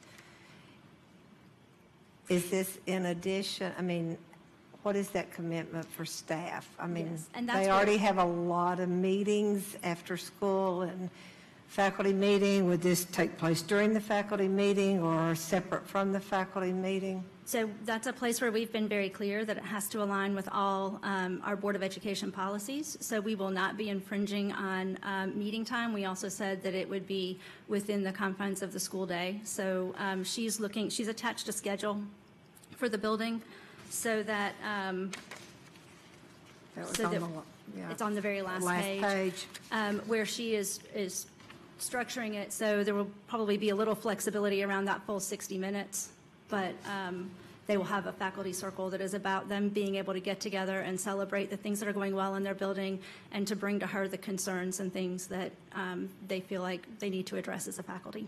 Okay, thank you. Mr. McMillan, did you? Thank you, Madam Chair. I don't know whether this will help or not, but in talking to Ms. White, uh, briefly, we talked a little bit about what she was attempting to do, and I sort of, uh, uh, from, from what she said, uh, she talked in terms of bringing kids together and no matter what their backgrounds, and letting them share their successes, and that she believed from what she'd seen and read about these programs, that it would be one of those things that would, one would feed off the other. There wasn't a negative to it. It wasn't condemning anybody. It was looking at the, the ones that have been successful and trying to raise the level of the ones that, that that have not as a result of using these as center figures, for lack of a better term. Thank you. Ms. Hill? Is the total cost, uh, is there no charge for the program? That's correct. So it's the, it's the travel. It's the travel. All right. I'm also looking here in step two, though, and is this that um, you're asking for four additional days of teacher contract to be added to the budget? Um, oh, It's the third bullet point I s- down, I Ms. see the bullet. Jackson. Um, That's not something that I'm prepared to speak on. I'm sorry, I don't, I don't know the answer to that. It's a part of this Compass Camp application Okay. that, that, uh, uh, that the ask is for, for additional days. That, that's a little bit concerning. Um, Maybe the super, how would that be handled, Mr. Thomas? Because first you're asking them to come back in July, four days earlier than the other teachers in the district, and then at, under contract time, so added to the budget, what does that look like? Yes, obviously, there a cost to- to involved in bringing people in four days. What both schools uh, have asked for is an additional, for one year, an additional four days because again, this is the first time the staff is coming together to work with uh, uh, the students. And I, I think, uh, Mr. Spencer, and you correct me if I'm wrong, but I, I believe in terms of the cost, uh, and and of course, it's a budgetary matter, the budget hasn't been approved yet, but, but I think what, uh, if I'm not incorrect about this, that weren't the four days requested built into those costs that you presented to the board? That's, that's correct. It was part of the incremental cost of opening the two new schools for one year only. And that was a request of each principal of each of the two schools. As a- As a follow-up, if I may. Go ahead, Um,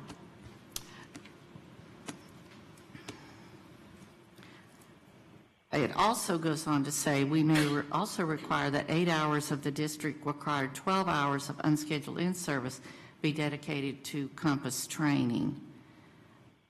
Um, So this would be an additional eight hours that we would be requiring of our teachers to uh, attend? That's not additional hours. Every, everyone is required to earn 12 unscheduled in-service hours, and so eight Right. of those hours would be towards the Compass training, and then the other four would be used for, for other training.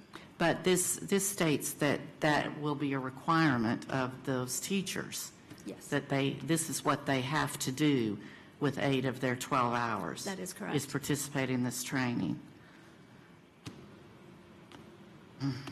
And then it also goes on, and I think this was addressed about, and I apologize, but just seeing this, I'm just, um, uh, on the job professional learning the second and fourth Tuesday of every month. So twice a month, teacher plan is going to be totally dedicated to this? I don't think she's planning to do it as their entire plan. I think, and that's one of the reasons why she's doing twice a month, is to break that time up so that they have the majority of their plan period, but they have some of it for their circle. Okay, Ms. Horn. Thank you, Madam Chair. Um, I, I'm concerned also about the time. You know, I think, and to, as um, a couple of people have made the point about their, the day already being um, full. So I'm concerned about the ability to sustain those hour-long weekly meetings for an entire staff together. Um, have other programs that are similar to this been, con- been considered? Or did she just find this one and, This is the one that she brought to me and that, that we looked at together. Um, I think when we witnessed it taking place, the faculty had um, a tremendous amount of unity as a staff. They understood um, the direction their students were headed and the supports that they needed. They understood the supports that each other needed. Um, and they had some great strategies for looking at what was going on in their school and solving the problems in their school together. And so um, that's what made this an exciting process to her. okay, thank you. Okay, I don't see any other lights up. Ms. Hill. Um, I'm, it, so because there's no faculty in place, this is not anything that is, has been uh, uh, run by the faculty. This is, this is a, uh, uh, an independent decision by the administrator to commit all, all this teacher time to this program. I'm assuming if it passes that as she interviews, she will make it very clear that this is the expectation That of these intent. teachers. That her intent was to make sure that anybody who was applying knew that this was the direction that the school was going and that they would have full awareness of what they were, um, of how, how this was going to operate. Um, She was uncomfortable with that too, that, you know, she wanted faculty to be able to be part of that buy-in and part of the process. I think because they get to design it, um, that that is, that's helpful in that cause and that they um, will have some, some say in that structure around um, what the social emotional competencies are and how they, how they go through that process. Not designing it, though, if it starts in March. The first training is in March.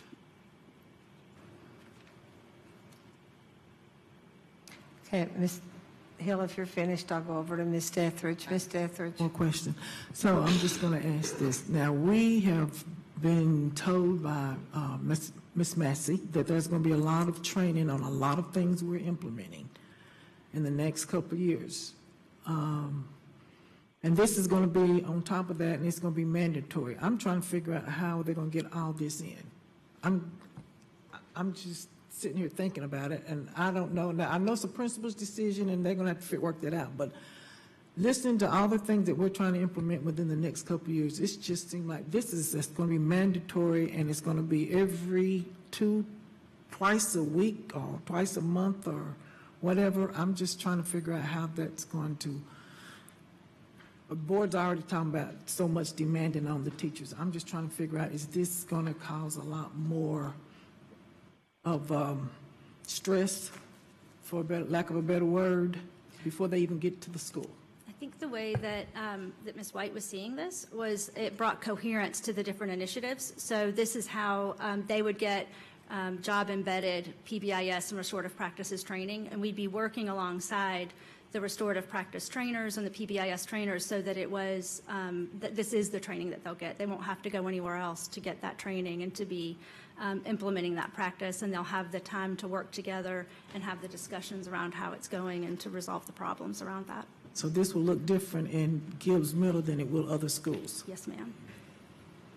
Ms. Rountree?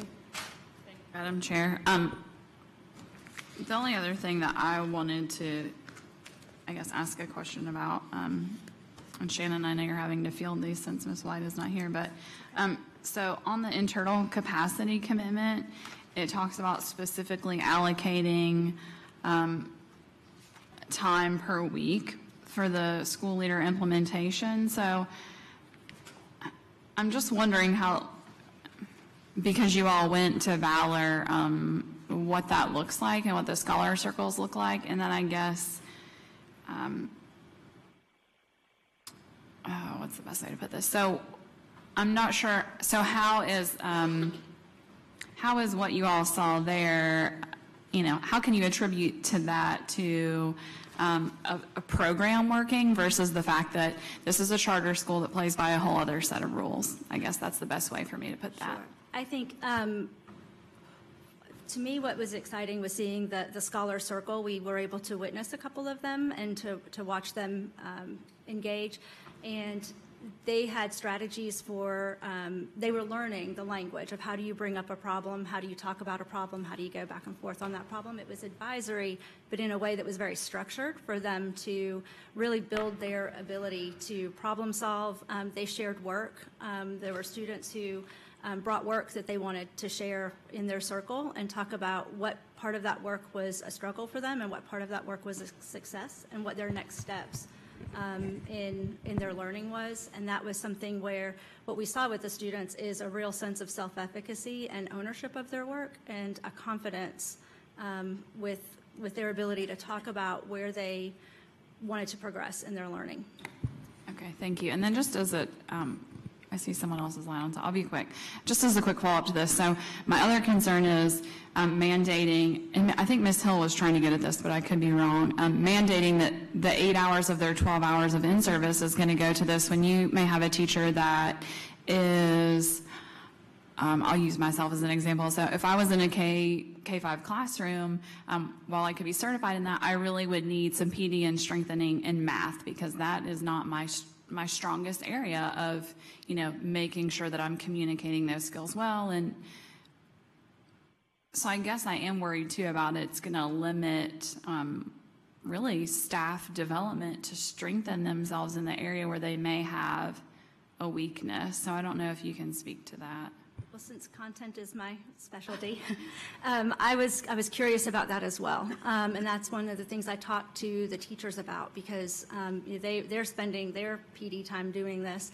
And um, so we, we would have to, we still have the district learning days, we still have content supervisors doing the scheduled in-service time.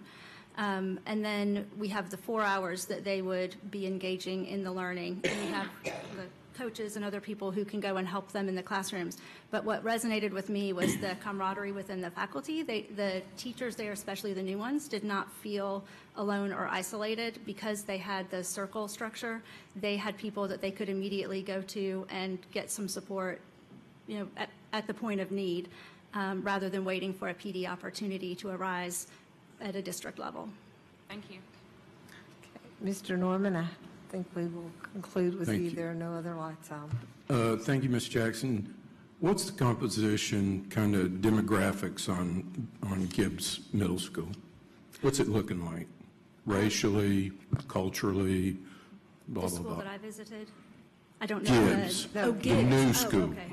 the new school. Um, that is, so she put a, um, let's see.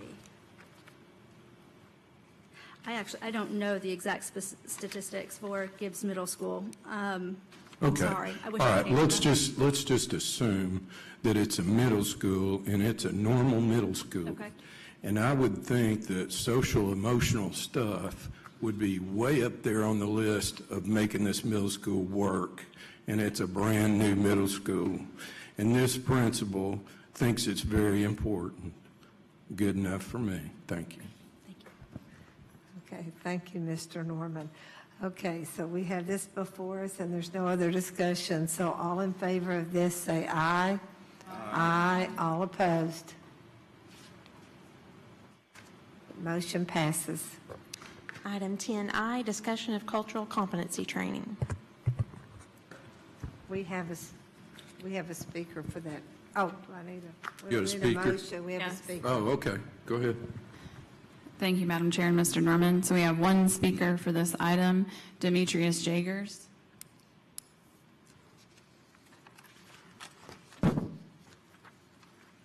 Good evening. Uh, My name is Demetrius Jaggers. I'm Knox County. uh, And I'm speaking today as a parent of a first grader and a soon-to-be uh, kindergarten. And I want to just emphasize, uh, I think, the importance of cultural competency training uh, for all Knox County staff, uh, as well as I I think it's important for our board members also. Uh, There were a few uh, things mentioned on Monday that bothered me as a parent um, in, in the discussion around cultural competency and whether or not uh, it was something that would be implemented uh, correctly. And I think this ties into some other issues too. I think it's important that we do our best. Um, I encourage the board to do its best at uh, prioritizing attendance at the cultural competency and particularly making sure board members are present because uh, as board members, you all make decisions that impact uh, some of those uh, things that happen in our school, and sometimes it could be impacted by implicit bias. Um, I also want to just raise a, a few examples. On Monday evening, uh, when Dr. Brittany Anderson and Dr. Lawler, Lauder were both here, uh, Mr. Norman, uh, after they were introduced both as doctors, uh, Miss, you referred to Miss Anderson as Miss Anderson instead of Dr. Anderson, and Miss, and Dr. Lauder as Dr. Lauder. And uh, based on my own experience, I have, I have background in diversity, equity, and inclusion. To me, that is a, an indication of implicit bias. And so I think that it's important that we be proactive in how we address, considering the, the growing number of uh, bilingual and uh, immigrant refugee children in our schools, as well as the increasing number of black and brown kids. And having been a parent of a, of a kindergartner who experienced implicit bias in a classroom, uh, I was somewhat taken aback by the statement that in 30 years of being a teacher that there hadn't been any incidents. I've, I've only been affiliated as a parent of a student for two years, and I can talk about more than one incident of implicit bias. And so I think it's really imperative that this board takes that serious um, and that is that is implemented um, as it needs to be. Uh, I also think it's important that we do a good job of partnering with the resources in our community, like the University of Tennessee, and know that the University of Tennessee is bigger than one individual, and that uh, as a former uh, employee of the University of Tennessee, I have my own challenges and issues, but I know that there are great people at the University of Tennessee doing great work and uh, providing great resources to our community. Uh, the last thing I wanted to talk about was some things related to legislative priorities. And I know that uh, you know, this is the Board of Education and that education issues are of prime, uh, supreme priority, but I also think that there are other issues on a legislative level, level um, both on the state as well as the local level, that impact uh, families and students. Mr. Jaggers? Yes. Ms. Just brought it to my attention that right now we're discussing cultural competency, so if you want to save the remainder of I'll- your I'll time and s- address it in public forum with our legislative priorities, that would be okay. Okay, perfect. Okay? Thank you. Thank you. Okay, Mr. Norman? Uh, Thank you, ma- thank you, Madam Chair. And thank you, Mr. Jaggers, uh, for, uh, for coming and speaking. And Indeed, I caught myself, uh, right when I said Dr. Lauder, I I really wanted to say Mr. Lauder and say it equally, but I didn't. Maybe I am. So, indeed. Um, The thing that I wanted to bring before the, the board is um, still a concern that um, at least we have some kind of method of evaluating uh, how teachers feel about this. And, um, and certainly my, my comments when I say, when I said that in my 30 years in the classroom, I had never experienced uh, racism, that, and indeed that was true. And, and it applied to any faculty member, any staff member, and that was to a suburb, in a suburban school and an inner city school. Not one time did I ever have any, even an inkling of racism expressed or evident in any way. It's almost understood in the schools that I'm in, you do not do that. It is not acceptable. And that doesn't apply to kids. Kids are still learning who they are. But in the faculty and in the staff, it is not done. It's never acceptable. So, anyway, just wanted to, just wanted to state that or clarify that.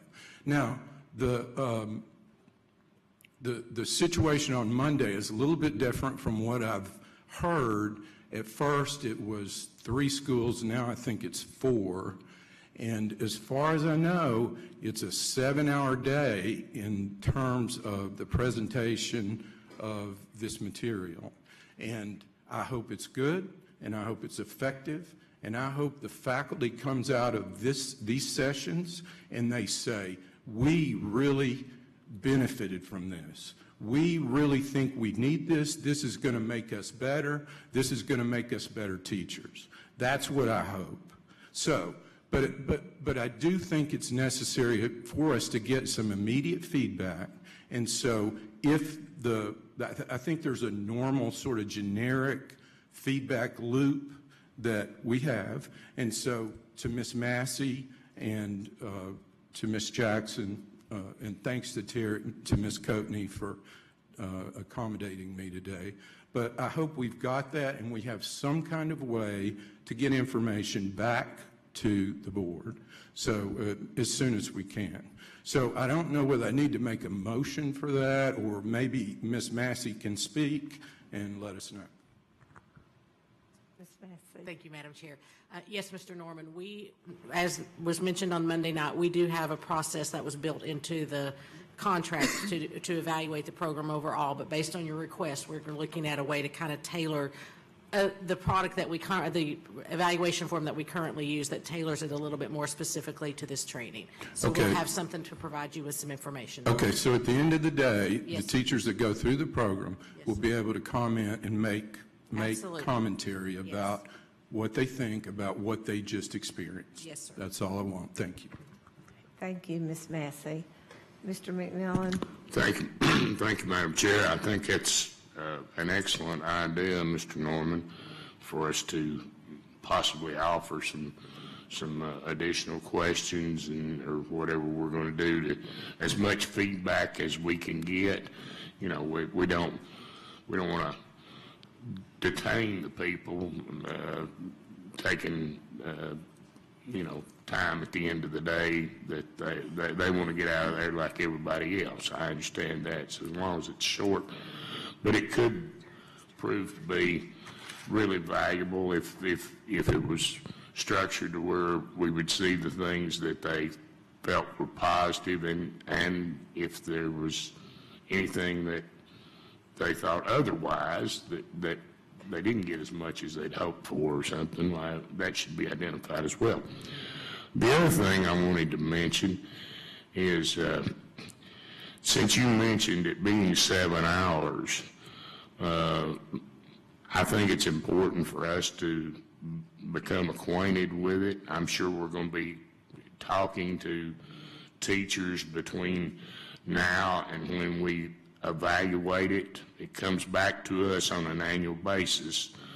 Uh, That's what we agreed to. Uh, But, you know, we can only talk to whoever you are. You can only talk to so many teachers. I would like to see if, if, if there would be a possibility that board members could uh, have a video of it to look at, at from, from time to time. If you wanted to, you know, you might not want to sit and watch seven hours of it, but, but you might want to sit and watch maybe an hour or, or 90 minutes of it and try to get some kind of, and maybe at two or three different times, try to get some kind of, uh, a feel of, of exactly what, how it was going and the consistency and, and, uh, and whatnot, that otherwise we probably wouldn't know except just what somebody told us. Is there, is there any possibility of doing that, Mr. Dupler? Is that your question or Ms. Massey's? Ms. Massey, is that a question you can answer if these are going to be videoed sessions? Uh, Madam Chair, we are not planning to video the sessions. I think there would be two concerns about that. Number one, well, I'll let UT just get- answer that from their perspective, but this is a topic that is, um, you know, Interact. you have to have a high level of trust. People have to feel like that they can have open dialogue if it's really going to be meaningful. I'm not sure that if somebody's concerned about anything that's being said is going to be something somebody can go back and watch over and over again, that, that we're really going to have the atmosphere where teachers can really feel like they can have open discussion. And that's just me being completely honest, so. Well, it's not like we want to put it on the, the evening news, Ms. Massey. I, I, I understand what you're saying, but is there any way that it could be limited, uh, that it could be videoed and limited access to the existing board members? Just, just so what I said could take place? I mean, you know, w- we've got a contract with them. We're using taxpayer funds to pay for the, for, for the program. And we're talking about a state taxpayer-funded university. So uh, I can understand the copyright aspect of it, but, but by the same token, I think we're, we're entitled to. So I would address that to uh, Mr. Dupler about whether or not, I would, most things, once we make a recording, can be at- requested for a public record. So I, I don't know how that would be, how we would cloak that or. Mr. Dupler? Well, th- thank you, Madam Chair. I mean, you know, o- obviously, I'd have to, I'd have to dig into the contract and do some research on it, but, um, but, but at- as you stated, Mr. McMillan, I mean, you know, uh, it's my understanding that UT has, uh, you you know, uh, wh- whether they call it copyrights or, or, or, you know, whatever uh, artistic, you know, uh, properties they have. I mean, you know, this is, this is their intellectual property, so, um, you know, I'm sure that we would need to, to uh, tiptoe around that. Oh, yeah, I'm sure it would need to be secure and not be made available to, probably to the public, but anyway, thank you. Okay. Did you want to address anything else, Ms. Massey? Do you want to hear, did you want to hear from UT? That's about- fine. Okay. Thank you, Madam Chair. The uh, effectiveness of this type of program is in the interactions between people, not in a video recording of those interactions. Um, The way for the board to experience this would be to come to the session, spend the day with us. It's deep, it's difficult work. It can't be done by watching a 90-minute video. If it could, this would be a lot easier.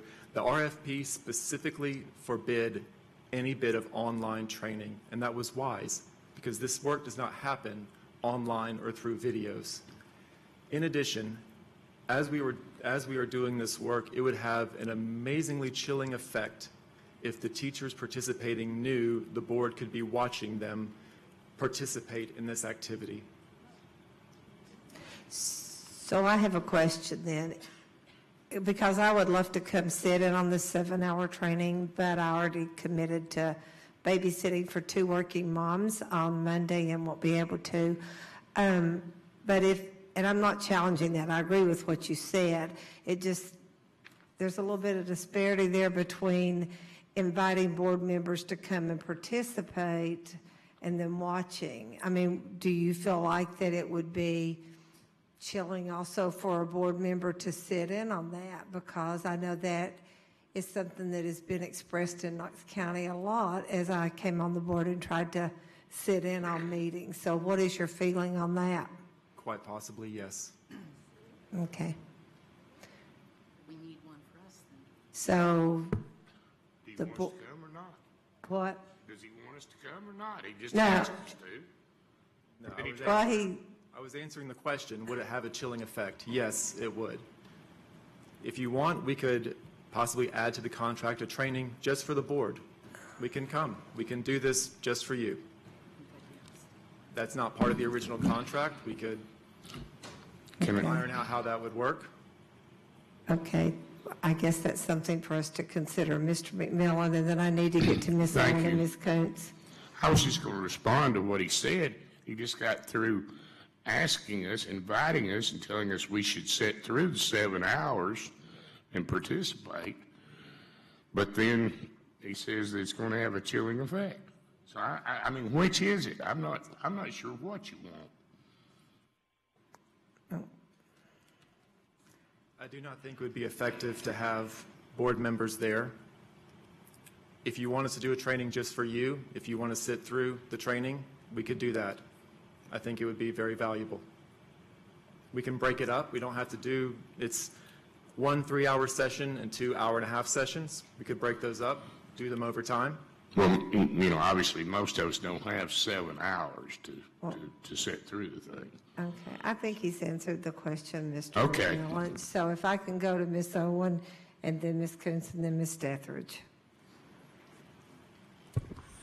I think a lot of the questions that we're asking should have been asked a really long time ago. Um, Should have been asked before the RFP was complete. Um, And also, when, when we discussed the second RFP long ago, one of the discussions was that we would like to have the board trained. We talked about doing that before it went to the staff. And I think if that had happened, we would not be having any of this conversation right now. Um, I would also say that the question of whether it would have a chilling effect on the staff depends a lot on our relationship with the staff. There are schools in my district where it would not be a good idea at all. There are schools in my district where it would be perfectly fine, I think. Um, and I, I'd say that that's the case for all of us, that there are some places where we feel very welcomed and where they feel that we welcome them. Um, So I, I think whether we are there or not, we need to have that conversation with the principal um, and the trainers to determine that, if, if that's something that we need to do. Um, I, I think there is, I think there's some misunderstanding in language. And if some of this had come to us as training sooner, we wouldn't be confusing overt and implicit bias. And I think that's really what's happening right now. I don't think we are having an argument about implicit bias. I think we are having an argument about overt bias and confusing it with implicit bias. And that is because we needed some questions answered sooner. Thank you, Madam Chair. Thank you. Ms. Coates? I would like to um, give this to Ms. Deathridge before I speak. Okay. Thank you. Um, I understand. I mean, I, I've been through something similar to this when I was working for another company, and it is something that is really personal, sometimes the conversation get very personal, and it's something that I, I believe the teachers would like to know that they can have candid conversations without the board being in, in the, in the room. I mean, I, having been through that, I know that is just, that's just the way it is. And I do us, I do remember us talking about having this before, but we never made a decision. We never, we never decided to do it. We had discussed it, but we never said we were going to have it prior to this, this agreement with UT. So that was on the board. So they went on and did what they, they were supposed to do and what we asked them to do. But if we want to, I think that, that's, in the individuals that want to go through this on the board, that's fine. I've been through it. I don't care to go through it again. I understand uh, the feeling of it. It's not comfortable, which, you know, which we heard from uh, Ms. Fugate the other day. It's not a comfortable conversation. And I think the teachers need to have their time to be able to go through this without the board being involved, being, and let them do what they need to do. We hired them to do the job, and if we want to, like uh, Tony said, get some feedback on how effective it is, I agree with that. But I don't think we need to be in the, in the room. I think we let them, need to let them do their job and report back to us how effective it is. That's just Ms. my opinion. Thank you, Madam Chair. I would just like to express my support of cultural competency because not only does it affect the teachers, um, it affects students directly. This is about how to build relationships with students. This is about training teachers to be able to effectively handle and develop um, relationships with people who have struggles every day that I see every day. Going to an international baccalaureate school, I come in contact with people from all over this world and with all different experiences of life and walks of life. And thankfully, my program has prepared me to be able to appreciate those differences and to be able to recognize my own biases whenever evaluating um, different cultures. Um, I believe that that is something that has prepared me very well um, and that I, is invaluable to everybody. Um, and I think that this is an opportunity for you um, to be able to make a decision that allows every single um, um, teacher and employee to have the opportunity to be able to um, develop those skills and become more self-aware. So here are three reasons I believe that it is a necessity to be able to allow this training to occur, not only for um, teachers, but for the future of this district. This will impact students. They will learn from the teachers. They will then learn how to do this for themselves. So, number one, I experience um, and see people be discriminated against and have bias against people's every day. We all do.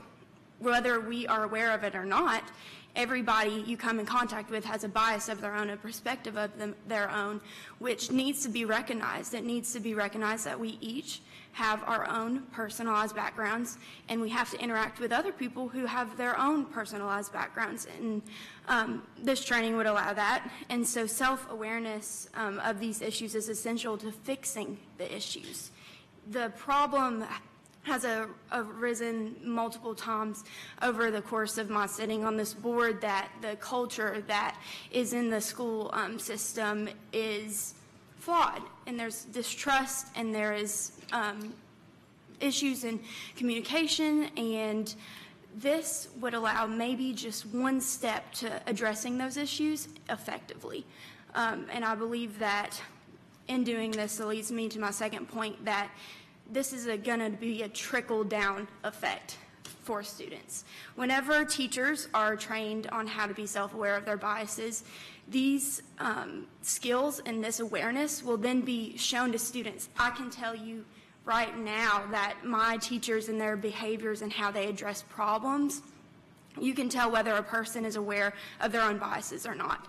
And I can assure you that teachers who are aware of their own biases develop stronger relationships with students and better relationships and are able to further their education and their well-being um, even more. And so this allows um, the chance to address biases early in students.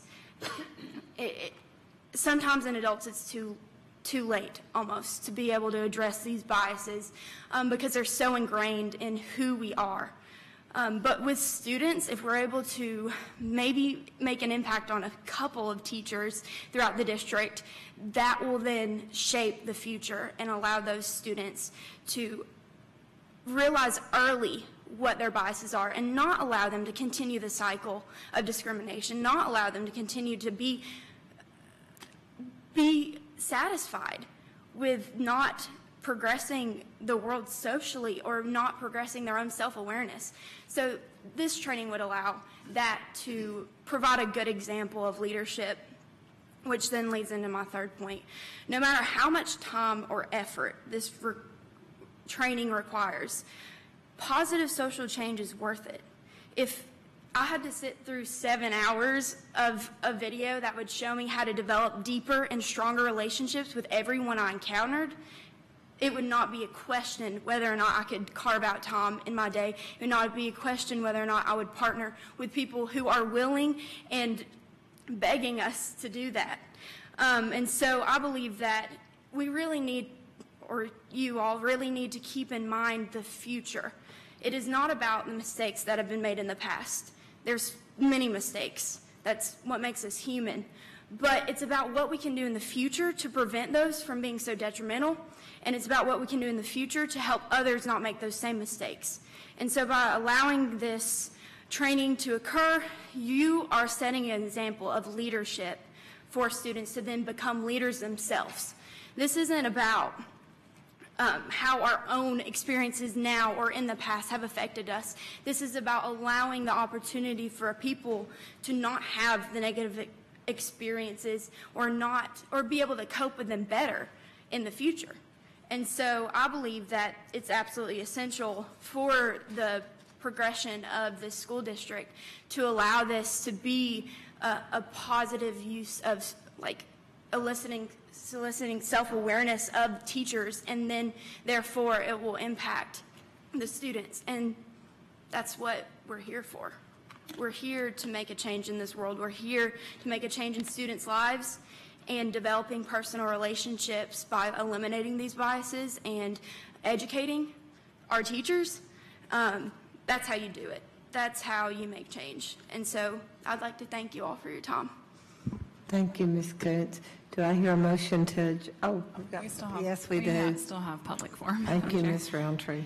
Okay, so we have um, two folks left to finish up their time. So when you come up, I'm going to call your name and tell you how much time is left, and we're going to make sure the clock is set right for you. So Candace Bannister, and you have three and a half minutes left.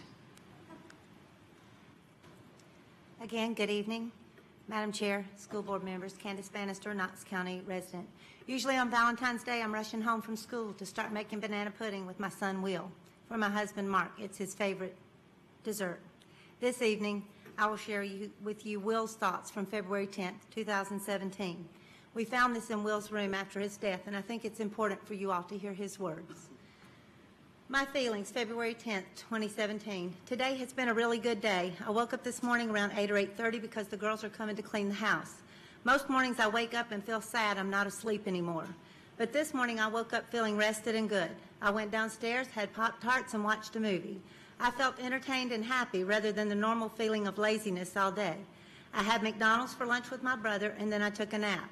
When I woke up, my family was home and I talked to them. At this point, I was already having a good day because everything has gone well and I haven't had any bad thoughts. Most times I wake up and feel gloomy because every morning I wake up is a reminder of my greatest failure. I never wake up early to go to school because I'm kicked out. I always have to face this every day when I wake up, and it has been building up for a while now. However, recently my mom has been home in the daytime, and she has kept me happy.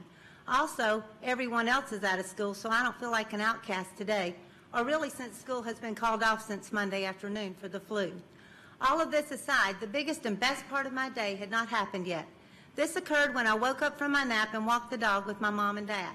As we were walking, my dad told me that my attorney had called and that I could go back to school.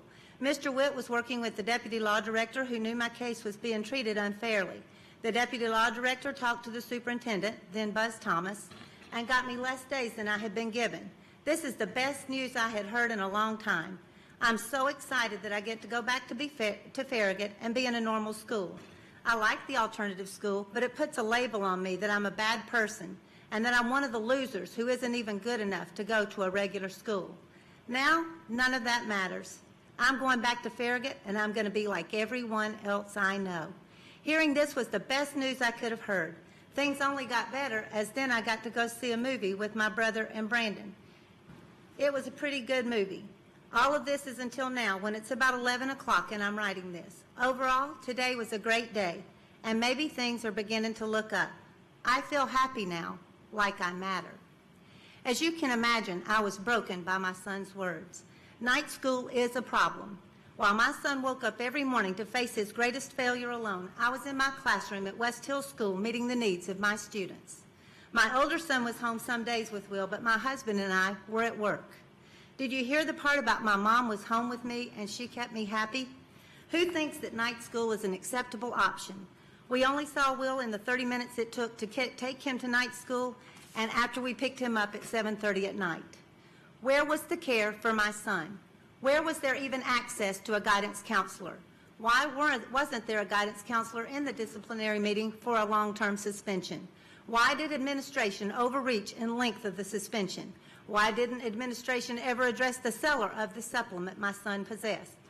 Why wasn't a directive from the deputy law director followed by Farragut High School? Why did the appeals officer uphold that suspension? Why did it take the law director to clean up their mistakes? Consider these questions as a board member, but please consider them as a parent. I think you would have questions too. Will's words, I feel happy now, like I matter. Thank you. Our next speaker is Demetrius Jaggers, and you have a minute and a half left of your time. Thank you. So my, um, my last point of uh, emphasis was just related to legislative priorities. Um, And looking at the legislative priorities that have been proposed, uh, to me, it's a little concerning to, to see nothing related to the way that uh, immigration policy, both on the state and local level with the 287G, is currently impacting uh, families and students uh, in Knox County schools. There are families who are preparing at this moment, uh, making concessions in the, in the event that they are deported.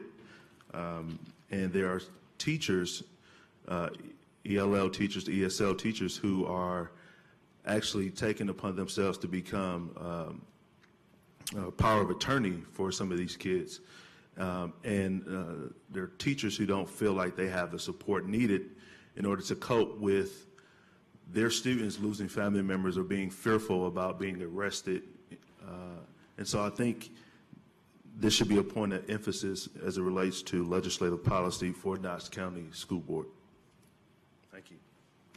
Madam Chair, that concludes public forum. Move adjourn. Okay, second. Mr. Norman seconded. All in favor? Aye. Meeting adjourned.